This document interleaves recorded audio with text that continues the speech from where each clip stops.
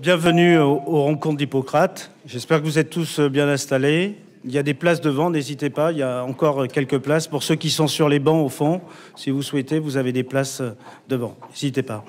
Donc bienvenue pour ces rencontres d'Hippocrate. Euh, troisième de l'année. Les précédentes étaient euh, celles de Axel Kahn sur la révolution génétique, l'autre sur l'intelligence artificielle en santé par euh, David Gruson, et ce soir sur le thème de Ma santé 2022 avec Monsieur Thomas Meignet qui nous fait l'honneur et le plaisir d'être ici présent malgré son emploi du temps de député très chargé et de rapporteur. Donc la rencontre se déroulera en deux temps de 19h, non, de 18h jusqu'à 20h, et nous terminerons à 20h05, puisque monsieur le député a un train à prendre euh, en gare de Bordeaux. Euh, donc, euh, une, intervention d'une trentaine de minutes sur la loi du 24 juillet 24 juillet 2019 sur organisation et transformation du système de santé.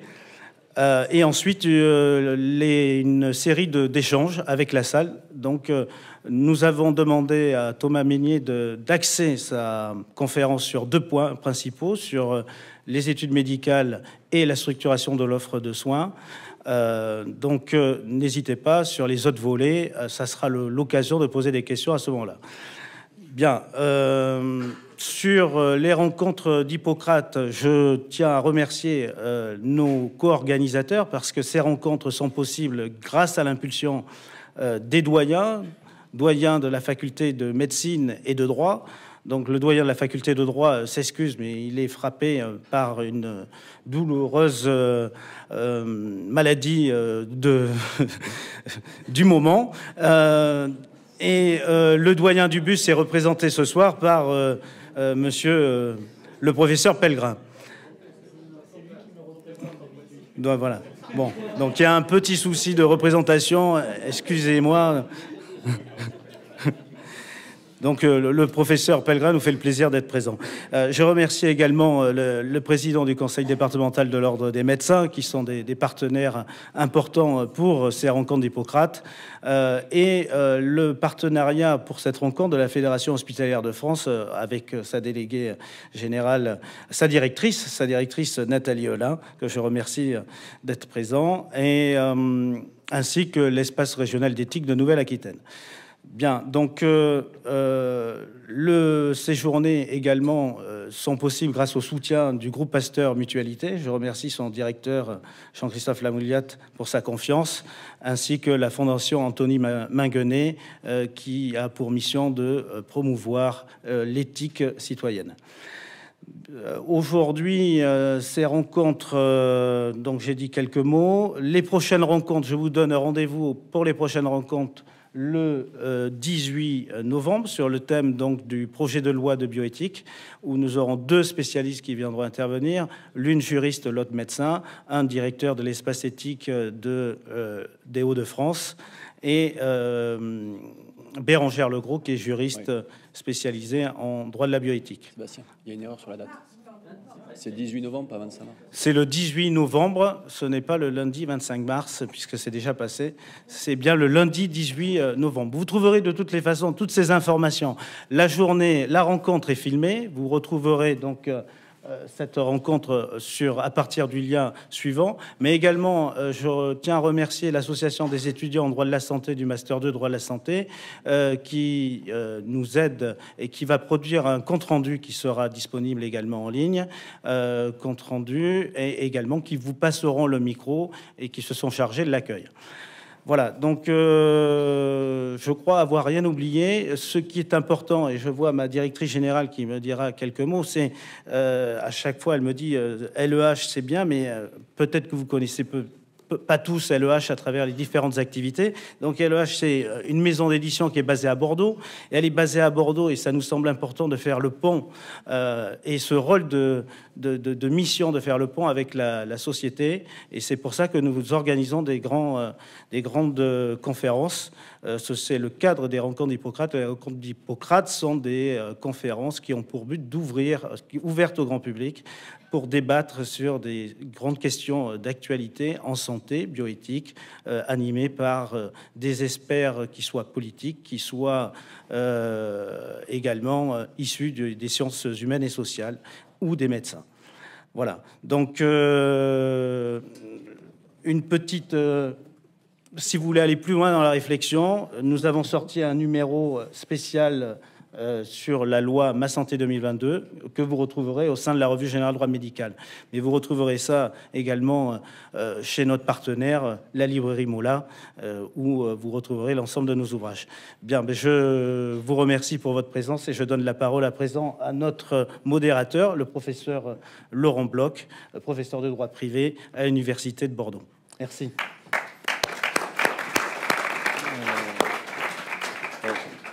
Je, reste assis. Bonsoir, à, bonsoir à toutes et à tous. Merci de, votre présence.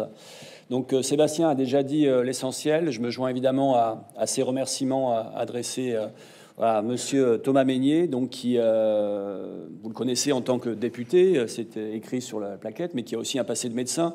Donc, il a, je dirais, toutes les compétences pour, pour nous expliquer. Futur, j'espère. Oui, je ne veux pas dire qu'un passé, ça ne veut pas dire que vous n'avez pas de futur. Hein. Donc, euh, vous avez une expérience de médecin, voilà, on va dire ça comme ça.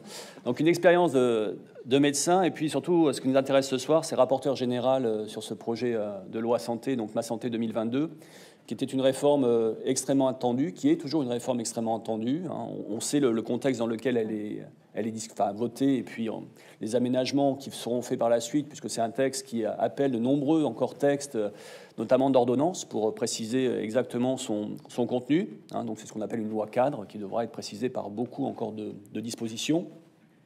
Le contexte de la réforme, on, le sait, c'est euh, vieillissement de la population, euh, explosion des maladies chroniques, euh, désenchantement des professionnels de santé, des patients qui ne sont pas forcément contents de, de, leur prise en charge, explosion du numérique, une redistribution territoriale évidente à faire. Bon, bref, euh, un texte euh, vraiment très attendu qui pose voilà, de, de nouvelles bases à, toute cette organisation. Comme on vous l'a dit, il est impossible en fait en cette soirée d'aborder tous les points du, euh, projet de loi. Ça, c'est mission impossible. Donc, on a resserré autour de, de deux questions la problématique de la, formation des professionnels de santé et puis la problématique de la nouvelle organisation territoriale de l'offre de soins. Euh, donc c'est euh, monsieur le député euh, Thomas Meignier qui va aborder ces deux points pendant 20 à 30 minutes. Ou, et, moins, Voilà, ou, moins, ou plus, voilà, on verra. Totale liberté. Et puis ensuite, on vous donnera éventuellement la parole si vous souhaitez poser des questions. D'abord peut-être sur les thématiques abordées, et puis évidemment après on pourra aborder des, des, questions plus larges. Voilà. Donc pour ne pas monopoliser la parole, je lui passe immédiatement le relais et je le remercie encore de cet aller-retour Paris-Bordeaux Express. Vive le TGV. Voilà. Merci à vous.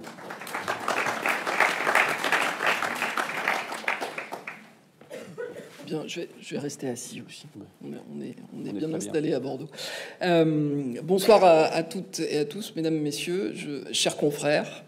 Euh, quand bien même je ne suis pas là en tant que, que médecin, mais en tant que député comme j'ai mal rappelé, de la nation, parce que souvent, euh, dans les débats parlementaires, on est vite renvoyé à sa condition de médecin pour des enjeux de, corporatisme que j'essaie de combattre au quotidien depuis deux ans.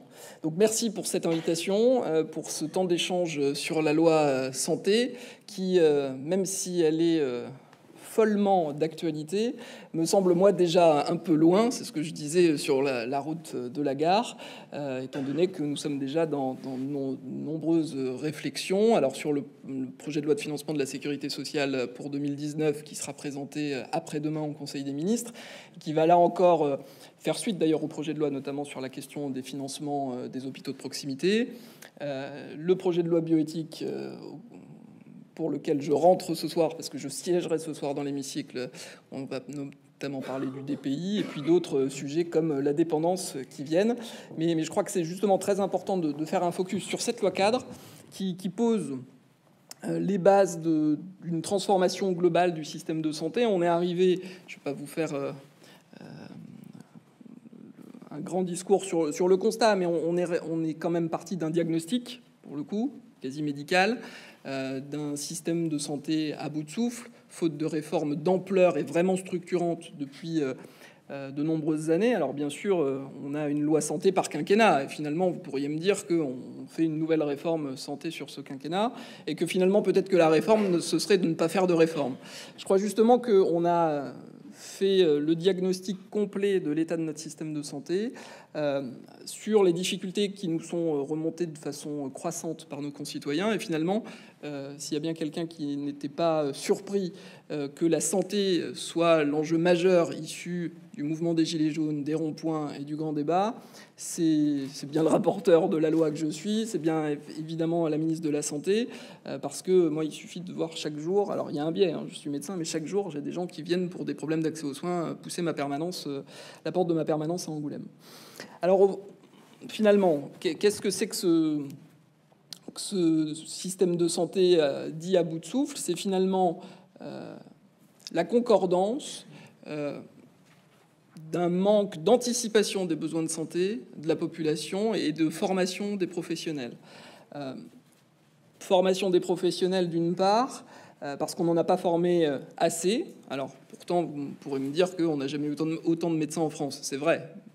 Problème, c'est qu'on n'a jamais eu aussi peu de temps médical d'un point de vue qui, qui, vient là aussi bien d'une surcharge administrative que d'un mode d'exercice quand même très différent de la nouvelle génération. Et même si euh, j'en fais partie quelque part de cette jeune génération, euh, on n'a pas la même façon d'exercer que nos aînés qui partent à la retraite. Et globalement, moi j'ai vu euh, dans les travaux que j'ai pu mener depuis deux ans au Parlement qu'il faut pratiquement deux jeunes médecins pour, j'aime pas cette qualification, mais n'empêche, produire autant de soins qu'un médecin qui part à la retraite. Et c'est une véritable difficulté alors même que le numerus clausus a été euh, alors, augmenté, certes, mais probablement pas suffisamment pour anticiper euh, cette, ce, sujet-là, et que, en parallèle, la population vieillit, s'accroît, avec, avec cela plus de pathologies chroniques qui requièrent plus de soins, et en même temps, en même temps euh, qui nous est cher à la République en marche, une population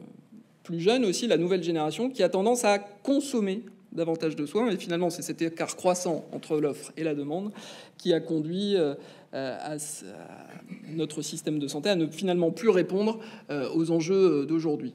Alors, on, pourrait, euh, on peut le voir dans de nombreux domaines. Le, le domaine qui en est le plus criant, c'est les urgences, sujet que je travaille actuellement parce qu'on voit bien que les urgences sont le carrefour de notre système de santé, aussi bien la porte de sortie pour la médecine de ville quand on n'a pas trouvé euh, de réponse aux besoins de soins qu'on a, et la porte d'entrée de l'hôpital. Et c'est là finalement que la tectonique des plaques euh, agit, que ça frotte le plus. Et on voit bien d'ailleurs avec le mouvement social euh, auquel nous, nous faisons face depuis maintenant plusieurs mois. Donc, Partant de, ce diagnostic-là, le gouvernement a voulu lancer, dès les premiers mois de sa mise en place, le plan pour un égal accès aux soins.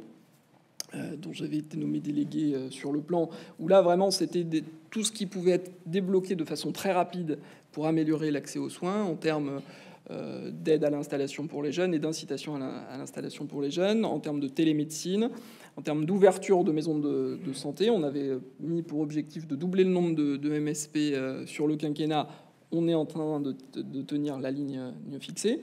Et puis très rapidement, au mois de mars 2018, le Premier ministre avait lancé la stratégie de transformation du système de santé avec plusieurs euh, euh, groupes de, travail. Un sur la qualité et la pertinence des soins, qui était piloté par la présidente de la Haute Autorité de Santé. Un autre sur le financement et les rémunérations, qui était euh, piloté par l'adresse, Jean-Marc Aubert.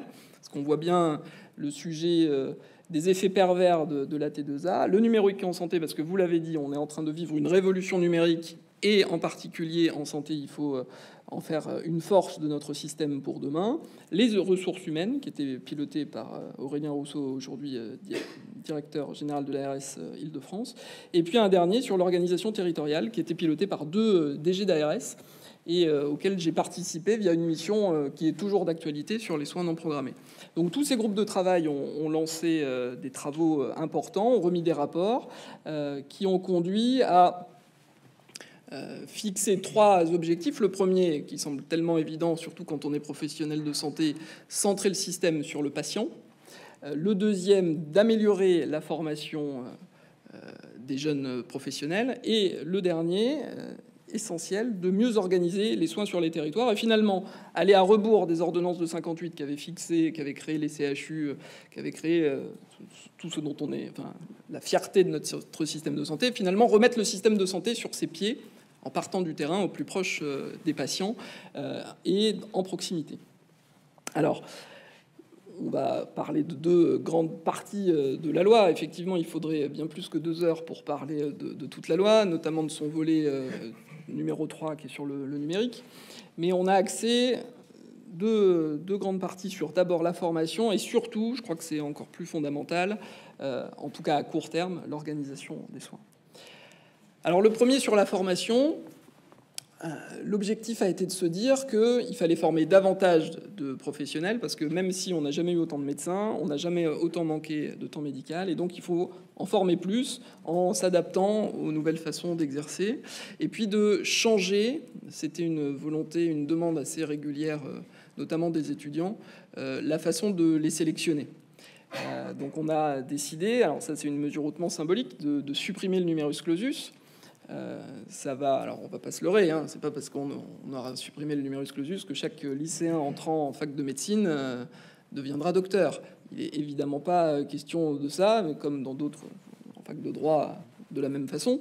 L'idée est de le sélectionner autrement, de mieux orienter au fur et à mesure des parcours, euh, d'ouvrir aussi les, au profil peut-être un peu moins scientifique, pour diversifier les profils de nos jeunes étudiants, donner la chance à certains qui se casser le nez euh, de façon récurrente sur euh, euh, les QCM pour ouvrir un petit peu le champ des possibles, ouvrir de nombreuses passerelles, permettre, quand on a commencé dans une formation, de revenir en, santé par le jeu des majeurs, des mineurs, etc., du portail santé. Enfin, tout ça est en train de se mettre en place et de définir dans chaque université le nombre de places ouvertes pour entrer en médecine, euh, aussi en fonction des besoins, des prévisions des besoins. Alors on sait qu'on a beaucoup de mouvements durant les études de santé, notamment avec l'internat, mais il était question de... Et le travail va se faire, d'ailleurs il, se fait actuellement avec les doyens, euh, avec le ministère de l'enseignement supérieur, euh, pour ouvrir. Alors on a estimé qu'on pourrait en ouvrir selon les universités entre 10 et 20 de postes supplémentaires, ce qui permettra quand même d'avoir des professionnels supplémentaires sur le terrain, et puis de l'adapter euh, autant que possible aux capacités de formation et aux besoins prévisionnels euh, des territoires. En sachant que, et ça c'est un gros point de discussion qu'on a eu euh, durant l'examen et les débats sur la loi, euh, qu'il y a un deuxième concours finalement à la fin de la sixième année, qui est le concours de l'internat, où là encore, en fonction de son classement, on peut choisir une autre université, sa spécialité. Euh, et il était question, moi je me suis beaucoup battu pour cela, de, de réduire les inégalités actuelles, parce qu'en fait, aujourd'hui, si vous avez un numerus clausus à 100 ouvert à Tours et à 100 ouvert à Montpellier, cinq ans plus tard, vous n'avez plus que sur les 100 places de Tours 70 places ouvertes d'internat à Tours et 130 à Montpellier. Donc on voit bien qu'actuellement, le système est déjà profondément, déjà ne forme pas assez de professionnels et est déjà inégalitaire. Donc c'est l'un des grands enjeux auxquels il va falloir euh, faire face. L'idée, c'est aussi de diversifier euh, donc les parcours, mais de mettre plus de pluriprofessionnalité euh, dans les enseignements. Alors notamment à partir dès les premières années d'avoir plus d'enseignements communs avec euh, les autres professions de santé. Et puis petit à petit, il va falloir le cranter dans le deuxième cycle, dans le troisième cycle, d'ouvrir avec des séminaires pluriprofessionnels, parce que si on veut, c'est tout l'enjeu du titre 2, euh, organiser les soins au plus près des territoires, favoriser le lien entre la ville et l'hôpital, favoriser le travail en équipe pluriprofessionnelle sur le terrain. Euh, ça s'invente pas, ça se décrète pas. Donc il faut dès le plus jeune âge, dès la formation, avoir des séminaires pluriprofessionnels. Là encore, c'est une demande forte des étudiants euh, à laquelle j'espère nous pourrons répondre dans les prochaines années. Donc voilà mettre en place une orientation euh, progressive, accompagner les étudiants, réguler le nombre de professionnels formés en fonction des besoins des territoires et des capacités euh, de formation, euh, favoriser des modules de formation communs à plusieurs filières, voilà le défi finalement qu'on a voulu prendre à bras, le corps avec ces enjeux de formation. Alors, on a supprimé donc le numerus clausus pour former davantage de médecins. On a supprimé les épreuves classantes nationales. Donc la suppression euh, aura lieu sur, les, sur 2021. On l'a décalé euh, d'un an pour justement permettre aux facultés euh, de conduire les deux réformes de front. Et là encore, pour, ce sera pour l'idée de, de permettre aux étudiants qui vont devenir internes de choisir leur lieu d'internat, leur spécialité, non seulement en fonction de leur connaissances, comme actuellement, mais aussi de leurs compétences avec une évaluation euh, plus pratique euh, dans laquelle on a, choisi euh, au, moment des débats à l'Assemblée nationale de faire davantage appel aux patients, aux patients évaluateurs. Ça, ça avait été porté par une de mes collègues députée, Stéphanie Arist, qui était rapporteur sur le, titre justement de, la formation. Voilà, alors après, sur le titre 1 et sur la formation, je pourrais vous parler des nombreux dispositifs d'incitation à l'installation qui vont d'ailleurs être profondément remis en, jeu euh, avec euh, le projet de loi de financement de la sécurité sociale euh, qui va être présenté après-demain, parce qu'on va supprimer un grand nombre, c'était un peu la jungle des contrats d'aide et d'incitation à l'installation libérale. On va tout supprimer pour en faire qu'un seul, avec des aides très très fortes pour une installation en médecine de ville dans les trois premières années, mais je pourrais probablement y revenir au cours des échanges. On a recadrer le contrat d'engagement de service public pour inciter les jeunes à aller s'installer dans les zones déficitaires. C'est globalement 20% euh, du territoire national. Euh, on a aussi ouvert par voie d'ordonnance la fin du concours de praticiens hospitaliers pour favoriser les débuts de carrière. On a, tout un travail est en train d'être fait. Alors, je ne pourrais pas vous donner euh, l'état actuel des travaux parce que je dois refaire le point avec le cabinet demain matin, justement, avec le cabinet d'Agnès Buzyn. Mais l'idée est là encore de favoriser l'exercice mixte ville-hôpital, euh, d'avoir des débuts de carrière beaucoup plus attractifs euh, à l'hôpital parce que c'est vraiment la difficulté aujourd'hui. J'ai encore eu des, exemples en, venant à l'hôpital d'Angoulême ce matin. Mais voilà, on est en train de travailler pour faciliter l'entrée dans les études de médecine, faciliter le travail pluriprofessionnel et rendre tous les débuts de carrière, notamment médical, hein, ça c'est vrai, euh, plus attractifs. Voilà, donc ça c'est le premier grand volet de la loi santé. Le second, qui est euh, tout aussi essentiel et qui va donner ses fruits euh, un peu plus vite, je l'espère, même si on aura besoin de professionnels formés en plus grand nombre, c'est celui de l'organisation territoriale.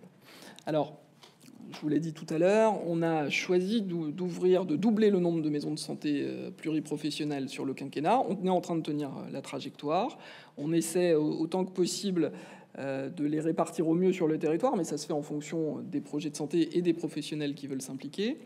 On a aussi choisi, moi c'était l'orientation que j'avais choisie dans, ma mission sur les soins non programmés, d'accès le plus possible sur le territoire avec les communautés professionnelles territoriales de santé, CPTS. Alors le sigle est moche, on a été très très nombreux à beaucoup réfléchir pour en trouver un plus joli. On n'a pas réussi. Si jamais quelqu'un a l'idée dans la salle, je suis preneur, sait-on jamais. Euh, l'idée, c'est de se dire que c'est aux professionnels de terrain de s'organiser entre eux. Ce sont eux qui connaissent le mieux le territoire et ce sont à eux de s'organiser pour trouver des marges de manœuvre. Moi, j'avais été très euh, marqué dans différents déplacements que j'avais pu faire euh, dans le cadre de mes missions parlementaires de voir que dans certains territoires, à certaines périodes de l'année ou à certaines périodes de la semaine, il n'y a plus aucune offre de soins à part les urgences et la pharmacie du quartier. Euh, ça, c'est une vraie difficulté quand on voit que ben, normalement, il y a la permanence de soins ambulatoires qui est de plus en plus défaillante, quand on voit que les périodes de vacances sont très souvent compliquées, alors il n'est pas question de blâmer les professionnels de santé, ils ont le droit à des vacances comme tout le monde, mais ça nécessite de s'organiser pour que la mission de service public soit assurée pour nos concitoyens. Donc on, on, incite les professionnels de santé à rentrer dans les communautés professionnelles territoriales de santé. Euh, ça va être le lieu d'organisation de projets de soins de territoire, euh, de travail en, équipe, euh, de délégation de, tâches et de compétences pour, là encore, dégager du temps médical. Alors, on met en place les assistants médicaux. La convention a été signée il y a quelques mois maintenant. On est en train d'avancer sur ces communautés euh, professionnelles. Il y en a déjà environ 200, 250. Alors 250, c'est le, le, chiffre un peu optimiste. on a pour ambition d'en avoir 1000 qui couvrent le territoire d'ici la fin du quinquennat, en sachant que peut-être il en faudrait plutôt 2000 pour couvrir parfaitement le territoire. L'idée, c'est que médecins, pharmaciens, kinés, dentistes, sages-femmes, infirmiers, orthophonistes et tous les autres professionnels de santé puissent euh, travailler sur des projets, alors en fonction des besoins du territoire. Alors, la mission numéro un, ça sera de gérer le soin non programmé. Ça, c'est en tout cas la mission qui me semble la plus essentielle. Mais il y aura aussi des travaux de prévention, des travaux de sur tout, vraiment en fonction des besoins des territoires. Et on voit bien que euh, les besoins ne sont pas les mêmes euh, dans les Hauts-de-France que sur la côte méditerranéenne ou qu'à Bordeaux ou qu'à Angoulême, qu'il y a des, problématiques de santé publique souvent un peu particulières sur chaque territoire. Là-dessus, on va dégager du temps médical, on devrait améliorer la, prise en charge de nos concitoyens, faire en sorte que, en dégageant ce temps médical, il y ait moins de patients qui aient des difficultés d'accès aux soins. Moi, je suis d'un département qui est pas très loin de Bordeaux, la Charente, où j'ai presque 15% des Charentais qui n'ont plus de médecin traitant actuellement. C'est pas acceptable en France en 2019. Donc, si on arrive à dégager des marges de manœuvre, ne serait-ce qu'en s'organisant un peu mieux, en utilisant les voies numériques aussi. À Bordeaux, je pense que tout le monde connaît Doctolib. Dans la campagne charentaise, c'est pas, pas forcément le cas.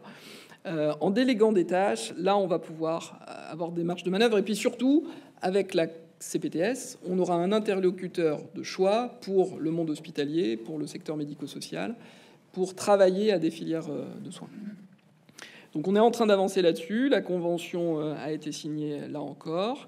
Et puis, dans le versant autre que de la médecine libérale. On avance avec les hôpitaux de proximité. Euh, ça, ça a été une des grandes annonces de Ma Santé 2022. On veut en labelliser 500 à 600. On a cadré dans la loi euh, le cahier des charges, un petit peu finalement, euh, de ces hôpitaux de proximité. On aura dans le PLFSS qui vient la façon dont ils vont être financés. Alors, je ne vais pas faire de grands scopes, mais l'idée, c'est d'avoir d'abord une vue pluriannuelle sur le financement des hôpitaux de proximité pour euh, ces directions, c'est d'en avoir euh, d'avoir une part d'activité bien moindre dans leur financement et d'avoir finalement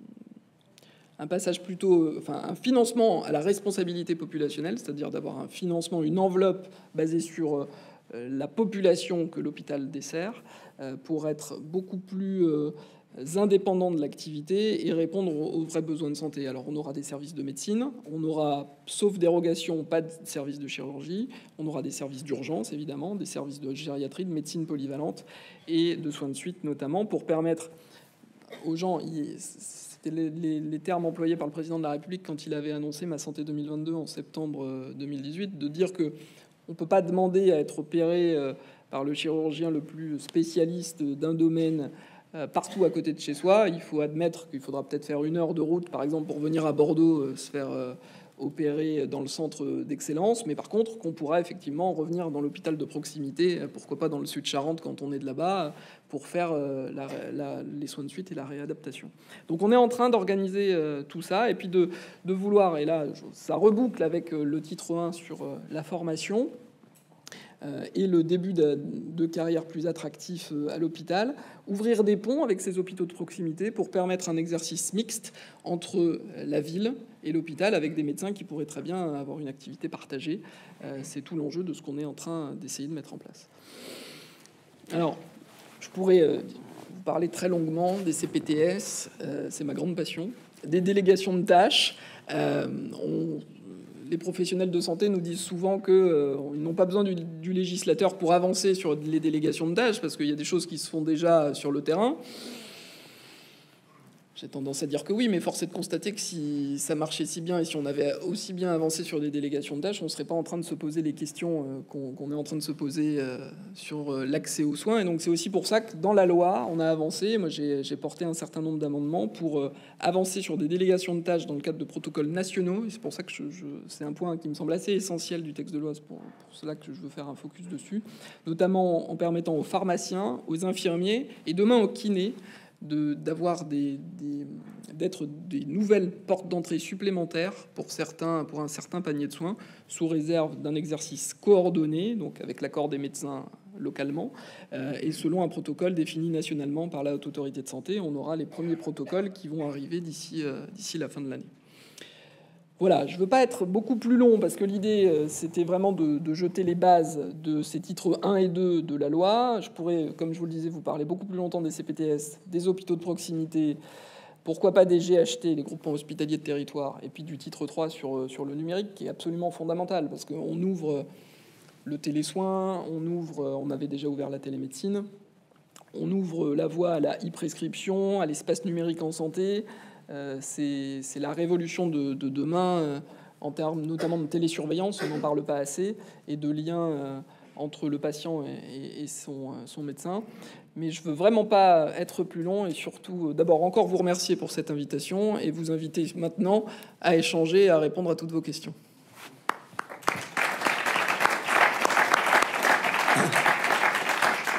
Euh, merci beaucoup pour ces explications et puis ce, résumé qui nous permet de bien saisir la philosophie finalement de, de ce texte. Peut-être avant de donner la parole à la salle, je vais juste euh, me faire plaisir, me poser les questions que j'ai envie de poser. C'est le privilège. c'est le privilège. Euh, mais comme vous avez une passion pour les CPTS, je résiste pas. Voilà, les, CPTS ne, sont, ne viennent pas de la loi, de la loi santé actuelle, hein, ils datent de, de 2016. Et comme vous l'avez souligné, finalement, ça n'a pas tellement pris, ça n'a pas tellement fonctionné. Il y en a très peu d'expérience. Hein. Euh, qu'est-ce qui va faire qu'avec la nouvelle, la nouvelle loi, c'est un modèle qui fonctionnera alors qu'il ne fonctionnait pas auparavant? Quels sont les changements que vous avez mis en place pour permettre à ce modèle de, décoller? Alors, vous avez raison de dire, et je ne l'avais peut-être pas assez euh, précisé, mais effectivement, les CPTS n'ont pas été créés par la loi de 2019. Elles sont créées par la loi de 2016. Et finalement, c'est un peu comme la loi euh, HPST de 2009, dont il a été, pour lesquels certaines dispositions, il a été nécessaire de les revoter dans cette loi, parce que les décrets d'application en 2009 n'avaient pas été pris et donc étaient tombés en désuétude. Certaines mesures, aussi bien en 2009 qu'en 2016, n'ont pas été ensuite portées politiquement, euh, aussi bien par les élus, le gouvernement, que par euh, les différentes administrations, que finalement, ça n'a jamais pris, ça n'a jamais décollé. Là, il y a une véritable volonté politique que ça prenne, que ça marche. Les ARS sont en train de faire le travail sur le terrain pour présenter ce que c'est que des CPTS. Moi, je vois qu'en Charente, tous les, euh, de façon euh, hebdomadaire, il y a des réunions dans toutes, toutes les communautés de communes pour présenter aux professionnels de santé le dispositif. un, avenant à la convention a été signé et négocié avec les syndicats justement pour ouvrir des possibilités avec avec l'accord euh, interpro. Donc il y a une vraie euh, dynamique qui, s'installe, qui est en marche, euh, pour porter elle était facile, pour porter ce dispositif et faire en sorte qu'il se mette véritablement en place sur le terrain. Et puis on voit bien en fait que, alors on a été beaucoup taxé de dire qu'on réinventait l'eau chaude et que les professionnels étaient fonctionnaient déjà en équipe. Alors il n'est pas question de dire que les professionnels ne travaillent pas en équipe, mais il est question de se rendre compte que factuellement, moi j'ai des deux cabinets médicaux dans le même quartier à Angoulême qui ne travaillent absolument pas ensemble et qui ne s'organisent pas, ne serait-ce que, pour la continuité des soins en fin de journée ou le samedi matin. Alors certains nous disent, bah, puisque c'est, on s'organise pas, fermer la, ouvrez la PDSA, la permanence des soins dès le samedi matin et puis euh, à 17h euh, l'après-midi. Ça me semble pas forcément la réponse euh, la plus adaptée, en tout cas tout de suite. Euh, il y a vraiment des, marges de, manœuvre pour, en travaillant un peu plus en réseau, améliorer l'accès aux soins de nos concitoyens. Donc il y a un vrai discours politique, et puis après c'est à chacun de se dire bah ouais moi je peux en être. C'est surtout aussi de se dire que c'est pas réservé aux médecins. Et, en tant que médecin pourtant de, de formation, avec mon passé pas tout à fait mon présent, mais j'espère mon futur, euh, de, lâcher un peu la bride pour vraiment accepter et se mettre en tête. Mais je crois que la jeune génération est prête à travailler en, équipe. Entendu. J'ai une deuxième question. On va avoir un système avec des centres d'excellence, des hôpitaux de proximité, des CPTS. Est-ce que vous parlez de décloisonner tout ça, mais est-ce que du coup on va pas reconstruire de, nouvelles, je dirais de nouvelles citadelles et, et le CPTS, c'est un modèle plutôt tourné vers la médecine libérale, d'après ce que j'ai compris. Euh, comment on va faire pour organiser l'articulation entre les CPTS et les hôpitaux de proximité? Qu'il n'y a pas un risque que finalement, une nouvelle fois, chacun travaille dans son monde alors, vous avez raison, il y, a, un risque effectivement de... Et puis on est très fort en France pour mmh. ça, pour créer des niveaux et, des gradations. Alors euh, en plus, l'article 9 de la loi, c'est euh, réformé par ordonnance le régime des autorisations, donc euh, l'installation des scanners, des, IRM, des activités de chirurgie et, j'en passe. C'est un risque, mais c'est aussi pour ça qu'on a voulu ouvrir un certain nombre de, de portes et de ponts euh, notamment sur les hôpitaux de proximité, faire en sorte qu'il y ait le plus possible d'exercices mixtes, avec des médecins généralistes qui seraient en ville, dans leur cabinet, et qui auraient une part d'activité, soit dans le service d'urgence, soit dans le service de médecine polyvalente. C'est aussi s'assurer que, et c'est très important, il y a un lien aussi qui se fasse avec les, EHPAD, les maisons de retraite, euh, aussi bien via les CPTS que via les hôpitaux. Et puis, on a mis, c'est l'article 7 du projet de loi, alors J'en parle pas euh, d'emblée parce que ça peut paraître un petit peu abstrait, mais on a créé par la loi le projet territorial de santé. Euh, c'est quelque chose qui n'a pas pour l'heure vocation à être obligatoire, parce qu'il faut que les communautés professionnelles euh, de santé se mettent en, se mettent en place, mais qui à terme, dans l'idée, le deviendra. C'est un outil pour que se mettent autour de la table les professionnels de médecine de ville, mmh. le monde hospitalier, le monde médico-social, pour écrire un projet de santé à l'échelle du territoire. Et donc, par ce projet territorial de santé, tout le monde devra se, réunir pour définir les grandes orientations, comment répondre aux grands enjeux du territoire en santé. Alors bien sûr, la question des soins non programmés est la première aujourd'hui, mais c'est aussi euh, quid de la prévention, quid de certaines filières de soins qu'on veut organiser. Et là, on a créé un outil pour justement faire des ponts entre toutes ces strates. Dernière question, et après je vous promets, je vous passe la, parole. Un dernier point. C'est sûr, juste sur le numérique. Euh, vous l'avez à peine abordé, mais effectivement, vous avez raison, c'est voilà, extrêmement important sur ces données-là. Ce que j'observe, c'est quand on superpose deux cartes, celle des déserts médicaux et celle de ce qu'on appelle la fracture numérique, ce sont à peu près les mêmes. Euh, est-ce que vous n'avez pas peur qu'on fasse les choses à l'envers, c'est-à-dire qu'on mette en place des systèmes de télésoins, on a tous les instruments pour le faire, je dirais juridique, mais d'un point de vue technologique, euh, là où il n'y a pas la 4G, euh, là où c'est juste précisément un désert médical, là où on en aurait le plus besoin. Est-ce que euh, je suis sûr que le télésoin va très bien fonctionner à Bordeaux, là où on a tout ce qu'il faut, et je crains que dans les zones plus isolées, ce soit plus compliqué. Alors comment faire Alors, vous avez d'abord tout à fait raison de dire que les, quand on parle de désert médical, j'aime pas trop cette expression-là. Non, mais bon. Non, mais elle est voilà. Elle est, elle est consacrée. voilà, elle est consacrée.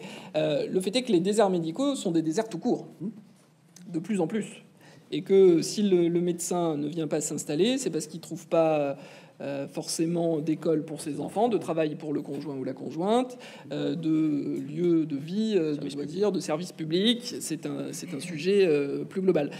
J'aurais envie de dire, ça va faire très autopromotion, mais c'est là qu'on voit aussi toute la cohérence de la politique qui est menée, parce que de façon concomitante, on, on déploie le, le très haut débit partout. Je mhm. sais que dans mon département de la Charente, en 2022, chaque commune sera fibrée, aura accès à du très haut débit.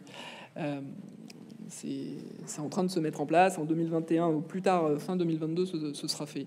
Euh, c'est pour ça qu'on ouvre des maisons de France Service dans, a priori, chaque intercommunalité.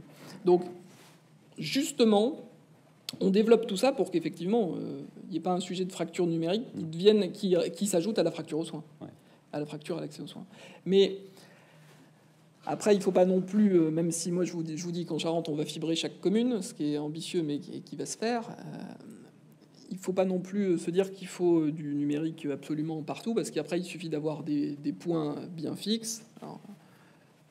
la on, va, on va me dire que je parle encore des pharmacies, mais les pharmacies peuvent en être un, les EHPAD, où là, on aura des vrais points euh, stratégiques d'accès aux soins, non seulement pour les résidents des EHPAD, mais pour toute la communauté euh, alentour. Et puis ça permet là encore d'ouvrir les officines, d'ouvrir euh, les EHPAD à la population.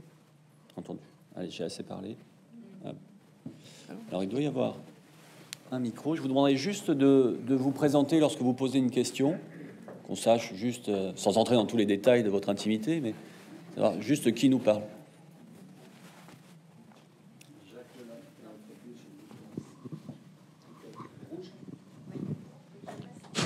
Ouais, non, ça va. Ça y est, ça marche. Jacques Lelanne, je suis euh, médecin retraité. Bon, je vous passe sur mon cursus, j'ai fait des tas de choses.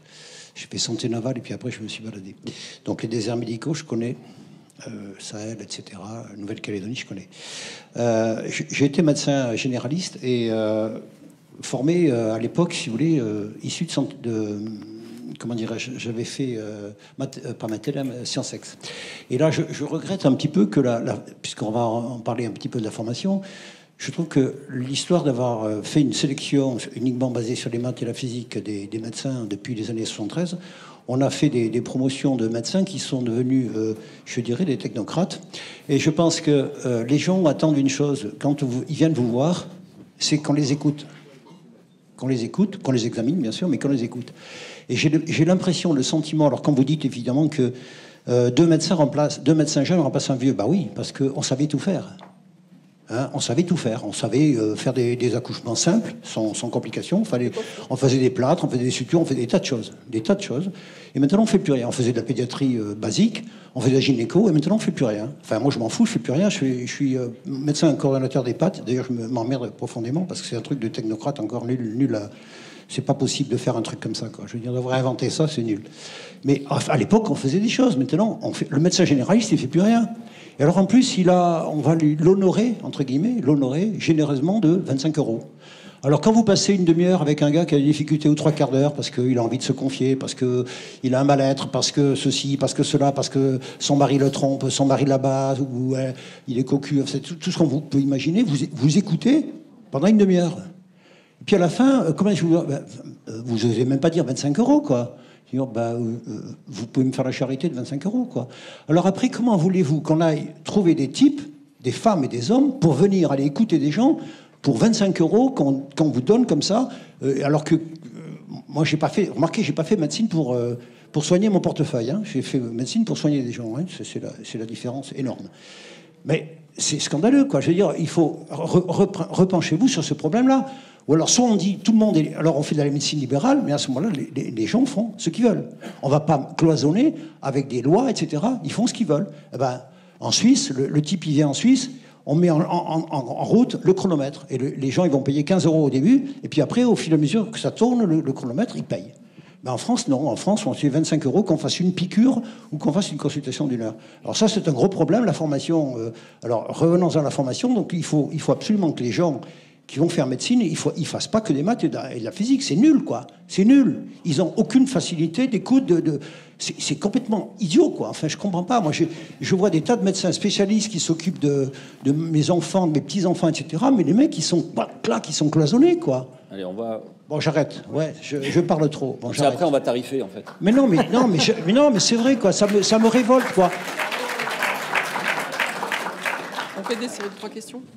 Merci beaucoup. Moi, je suis retraité de la fonction publique. Je n'ai pas de relation professionnelle avec la médecine, sauf en tant que patient, bien sûr. Et on a abordé avec l'intervenant précédent la, la question euh, du nerf de la guerre.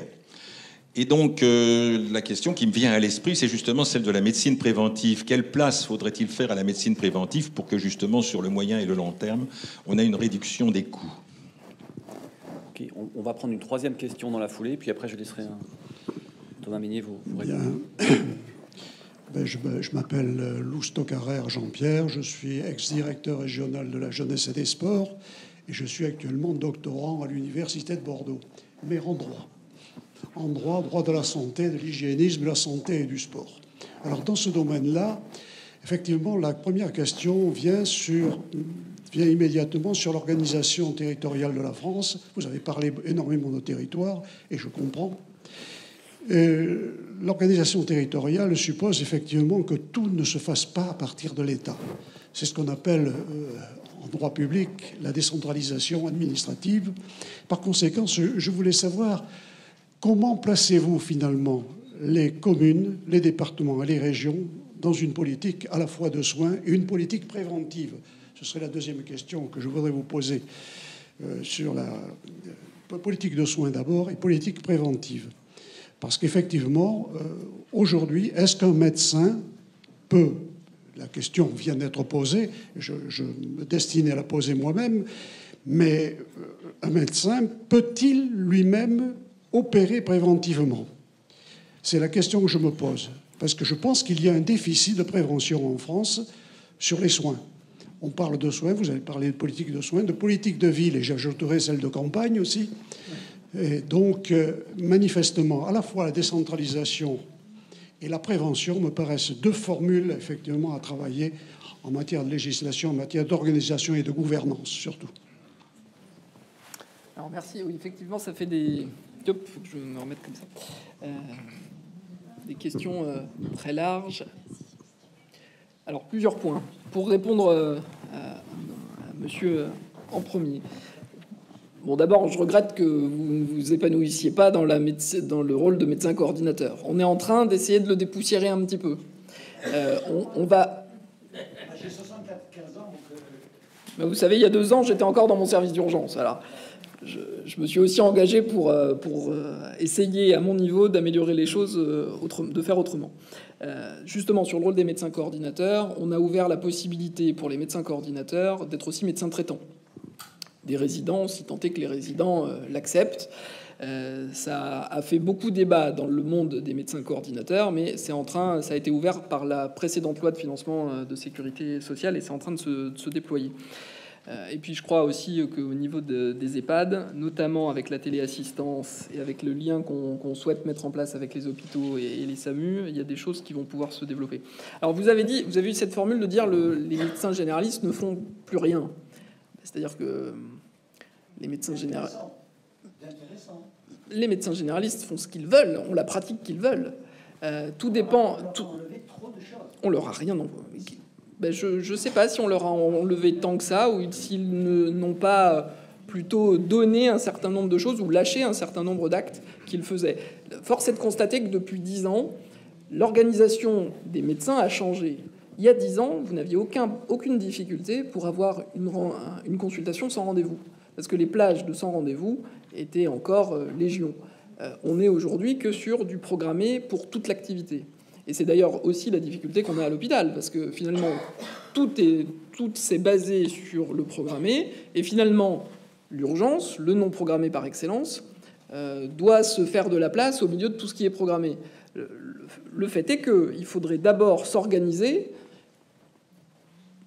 pour, se programmer pour, pour, accueillir le non programmé. Parce qu'en fait, il n'y a rien de plus programmable que le non programmé. Alors ça peut, ça peut sembler un petit peu flou, mais il n'y a rien de plus prévisible que l'activité d'un service d'urgence, par exemple. Alors après, c'est vraiment les professionnels de, santé qui font leur activité. Moi, je connais des médecins euh, qui, euh, qui succurent toujours. Il y en a d'autres qui, quand ils voient une petite plaie, disent tout de suite euh, aller à l'hôpital. il y a des médecins qui choisissent d'être correspondants SAMU ou d'être médecins pompiers qui continuent à faire des accouchements dans leur territoire rural. Force est de constater que sont plutôt de plus en plus minoritaires et que c'est en train de disparaître. Mais c'est à chacun de faire ce qu'il veut de son exercice. En absolu, on a, je ne crois pas qu'on ait enlevé de compétences aux médecins généralistes. Hein. Vraiment pas. Mais on, on, Alors, on enlevé des compétences du fait. écoutez, je vais vous citer un exemple. Ça, date de 71, c'était hier. Hein. On faisait à l'époque, on faisait de la pédiatrie basique de base, c'est-à-dire la surveillance des nourrissons. Hein, et quand on avait un problème avec un nourrisson, on l'envoyait chez un pédiatre. Maintenant, moi j'ai vu, là, pas, récemment, parce que j'ai un moment que je suis à la retraite, sur une urgence de nuit appelée à 3h du matin pour un gosse qui avait 40, quand je regarde son carnet de santé, il est suivi par un pédiatre. Et quand j'ai dit à la mère, allez voir le pédiatre, elle m'a dit, le pédiatre ne travaille pas la nuit. Et je lui ai donc répondu que moi, généraliste, j'étais meilleur que le pédiatre parce qu'elle m'appelait quand son enfant était malade. Voilà, voilà mon sentiment à moi. Oui, mais alors après, on va pas rentrer dans, on va pas rentrer dans un échange à, deux, mais, mais bah, c'était pas normal. C'est-à-dire qu'après, euh, chaque, il y a une génération qui était, qui donnait son portable à, toute sa patientèle, qui était euh, accessible de jour comme de nuit, soir et week-end, et une nouvelle génération qui ne l'est plus, qui ne l'est plus, clairement. Mais euh, c'est, on peut le regretter, on peut en penser ce qu'on veut, c'est, c'est comme ça. Et je crois pas qu'il faut pas blâmer la jeune génération. Elle a aussi envie d'un exercice différent qui respecte sa qualité de vie. Par rapport à ce que effectivement une génération un peu plus ancienne euh, a pratiqué. C'est un changement de, pratique qui, qui, suit euh, toute une logique aussi générationnelle. Alors après, pour ce qui est de la médecine préventive et des politiques de, soins et de prévention, parce que finalement les questions sont un peu, on peut les relier. il y a quelques travaux en ce moment sur la médecine scolaire et la médecine du travail. Clairement, qui sont deux disciplines en grande souffrance, euh, parce que trop peu de professionnels formés, alors la médecine scolaire en particulier. Euh, et euh, il a été mis en place un certain nombre dans, le dernier, dans la dernière loi de finances de la sécurité sociale des examens obligatoires pour améliorer le suivi des, enfants dans, les premières années de la vie. On a largement des progrès à faire sur la médecine du travail.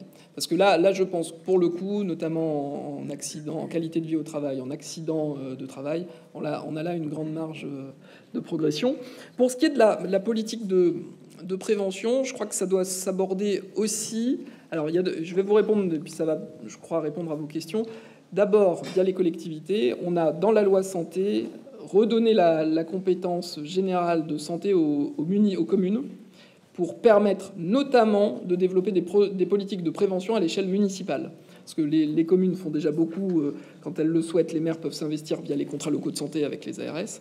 Mais on a redonné cette compétence de santé, de, prévention en santé aux communes dans la loi. Et je l'espère, euh, on a des élections municipales dans quelques mois, j'espère vraiment que les candidats sauront investir cette compétence nouvelle pour porter dans leur projet euh, des politiques de prévention en santé. Et puis, j'aimerais aussi vous répondre sous l'angle numérique, parce que finalement, euh, on voit bien avec les différents outils qui sont en train de se mettre en, place, ceux qu'on ouvre par la loi, qu'on est euh, à la veille d'une révolution. C'est-à-dire qu'aujourd'hui, un patient diabétique est plus obligé de se piquer le doigt, il suffit qu'il ait un patch, il passe son son glucomètre euh, sous, son bras, il a tout de suite euh, euh, sa, glycémie capillaire, On peut très bien imaginer que demain, toutes ces données, ces contrôles arrivent sur l'ordinateur de, son médecin qui verra les courbes qui sont en train de décrocher et dira tiens, il faut que je le voie ou il faut que je lui passe un coup de fil pour qu'il adapte ses doses d'insuline.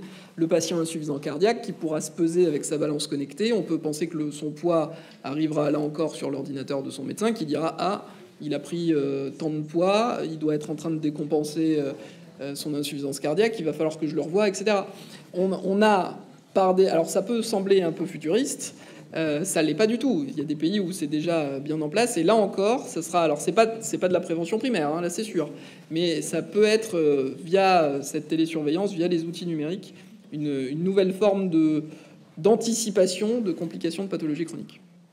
Et ça, on est en train, on a ouvert la voie en tout cas par la loi on, repart pour une série de, trois questions. Bonjour, monsieur Meunier. Avant tout, merci d'avoir fait le déplacement. Bonjour à tous et à toutes. Euh, je suis Yohan Galaré, je suis étudiant en cinquième année de kinésithérapie à Bordeaux. Je suis donc représentant des étudiants de ma promotion.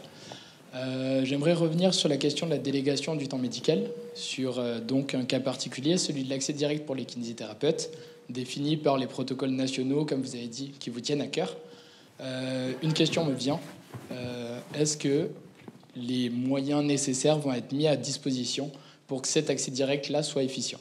Est-ce que les kinésithérapeutes vont avoir la possibilité de prescrire euh, des antalgiques, des arrêts de travail, vont avoir une revalorisation des actes, notamment de l'échographie? Est-ce que toutes les mesures vont être mises en œuvre pour avoir un réel accès direct? Merci.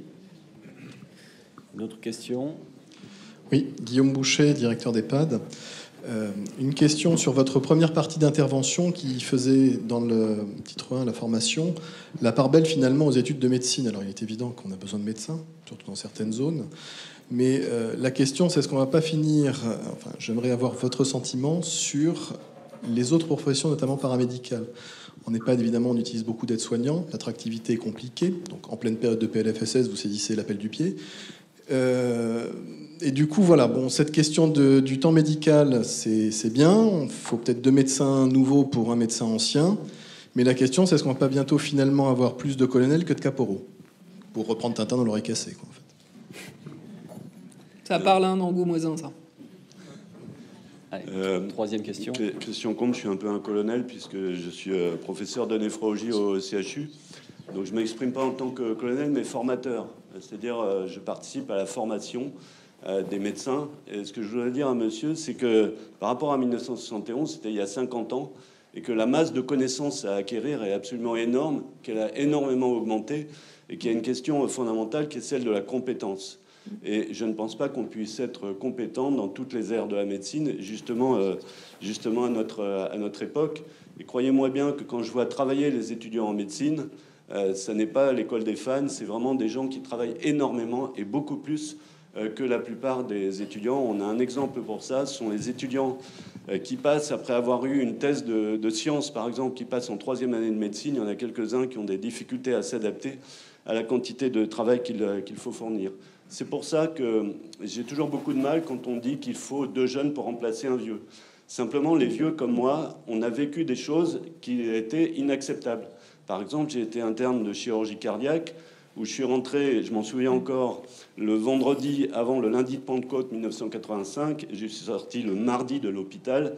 Qui peut penser qu'on a le cerveau adapté à prendre des décisions quand on travaille de cette manière? Donc il y a maintenant des règles qui sont des règles de bon sens avec le repos de sécurité. Et il ne faut pas dire qu'il faut deux jeunes pour, euh, remplacer un vieux.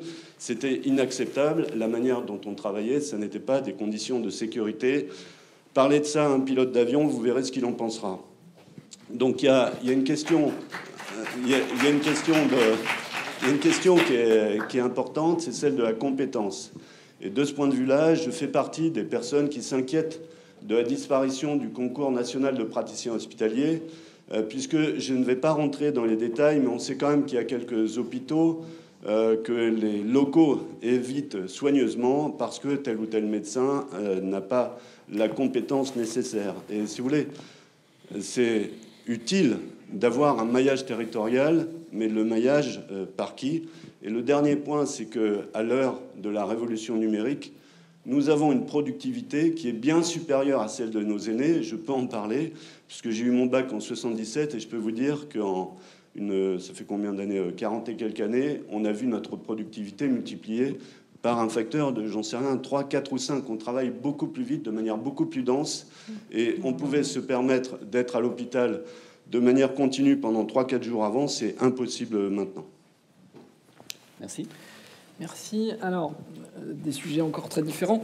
Je vais, je vais vous répondre, je vais répondre à l'envers. Sur, euh, alors, bon, évidemment, il n'a pas été, enfin, deux pour un, c'est factuel, et c'est dans l'exercice euh, euh en pratique euh, sur le terrain. Il n'est pas question de, critiquer ça, et, il n'est pas du tout question non plus de remettre en cause la formation, le repos de sécurité, etc. Alors ça, c'est, moi je l'ai, vécu. J'ai été euh, représentant des internes dans une vie passée. J'ai fait fermer euh, et retirer des agréments quand euh, les conditions de formation n'étaient pas respectées. On est d'accord. On est d'accord. Mais force est de constater qu'il y a une pratique différente. Euh, ça me permet, parce que je ne l'ai pas précisé dans mon exposé euh, initial, de dire qu'il y a une réforme absolument fondamentale. Et vous voyez, je, l'ai oublié en route, c'est mal, euh, qui est la, certification et la, certification périodique. On a mis en place dans ce projet de loi, euh, enfin dans cette loi, le fait de devoir de façon régulière, euh, alors vous allez me dire le, DPC existait déjà, la formation continue existait déjà, de remettre en place une certification pour que tous les cinq ans on puisse démontrer qu'on s'est formé euh, et qu'on euh, met à jour ses compétences, parce que là encore, et, moi je le vois, hein, dans deux ans et demi, ça fera cinq ans que je n'aurai pas exercé la médecine parce qu'il est compliqué d'être urgentiste et député en même temps, euh, en tout cas d'exercer.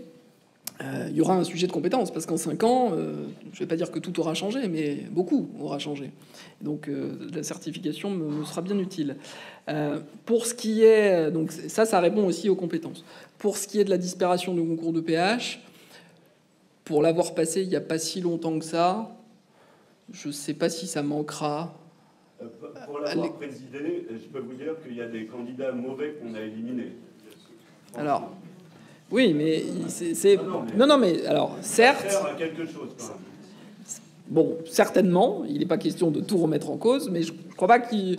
Enfin, je crois pas qu'on doit avoir des tabous, des totems. Je pense que pour le coup, ça répond aussi à une demande de modernité dans, le, dans les gestions de carrière, dans, dans plus de, de souplesse. Et, et, et j'aime à penser quand même qu'il y aura un contrôle des, des compétences, soit par l'ordre, soit par différentes instances. Peut-être que la CME donnera son avis aussi avant d'embaucher quelqu'un et que ça permettra d'avoir un contrôle là-dessus. Sur les EHPAD, j'attendais cette question parce que je me suis dit que je ne parlais que des docteurs et j'espérais qu'on me pose une question sur les autres professionnels de santé.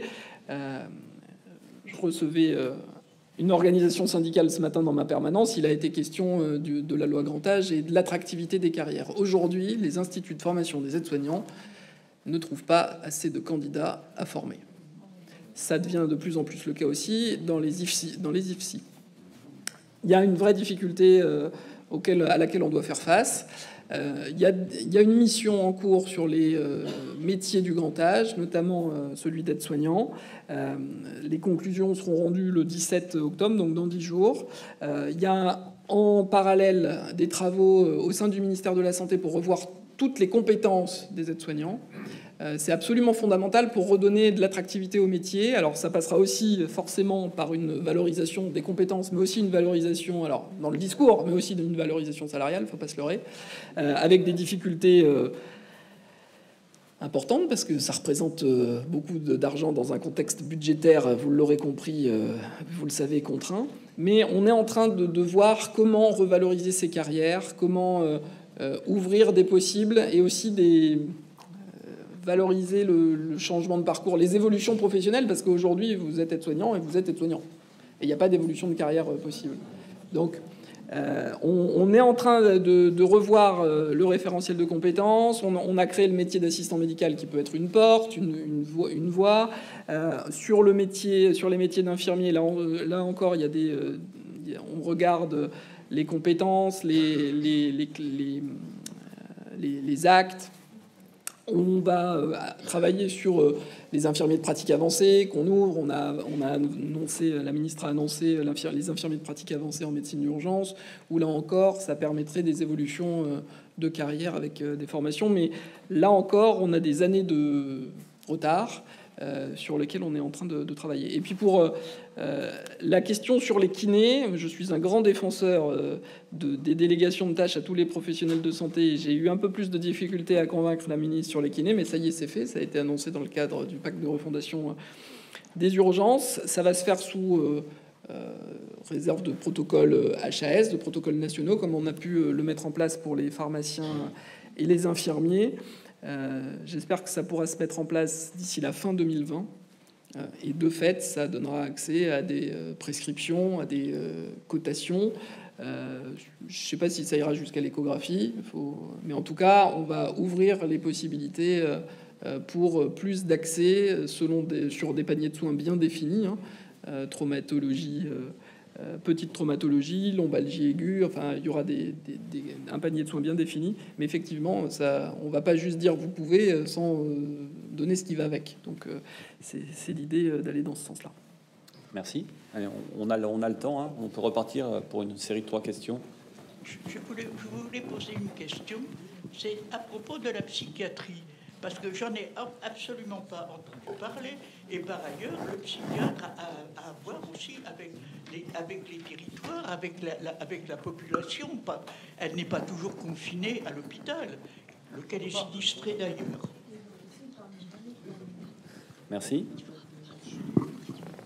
Une autre question? Oui, bonjour, Philippe Damblide, président du Conseil régional de l'Ordre des médecins Nouvelle-Aquitaine. Juste une question technique, vous allez pouvoir répondre, je pense, assez simplement et facilement. C'est est-ce qu'on va tenir le calendrier des ordonnances, de l'ordonnance de la loi du 24 juillet 2019 sur la certification, ce dont vous venez de parler, puisqu'on a un an, effectivement, pour pouvoir sortir le, le texte? Et euh, deuxièmement, est-ce que cela correspondra à peu près au schéma actuel qu'avait défini euh, Serge Usan dans son rapport qu'il avait rendu à Agnès Buzyn, puisque c'est lui qui a défini effectivement ce projet de recertification. Ok. Troisième question. Euh, oui, Dominique Dallet, j'ai présidé la CME du CHU et je suis conseiller de la fédération. Alors, je voudrais revenir sur votre première question et vous y avez répondu. En partie quand même, mais peut-être pas tout à fait. C'est-à-dire que les CPTS, vous nous avez bien dit qu'aujourd'hui il y en avait 200 ou 250. Euh, vous savez que voilà, pour couvrir le territoire, il en faudrait 1000 ou 2000. Euh, aujourd'hui, on a laissé au territoire, effectivement, c'est tout à fait logique, la liberté de s'organiser. Le problème, c'est que, bah, vous l'avez dit aussi, il y a le feu, les maladies chroniques, qui, le vieillissement de la population. Donc là, il y a une organisation urgente à mettre en place. J'ai appris, euh, incidemment, par euh, le président de l'URPS euh, Nouvelle-Aquitaine, qu'il n'y avait que deux CPTS dans la région. Alors, il y a effectivement des régions qui sont emparées du problème, qui ont fait des, organisations que tout le monde cite en exemple, que ce soit l'Ordre des médecins, que ce soit la Fédération hospitalière de France.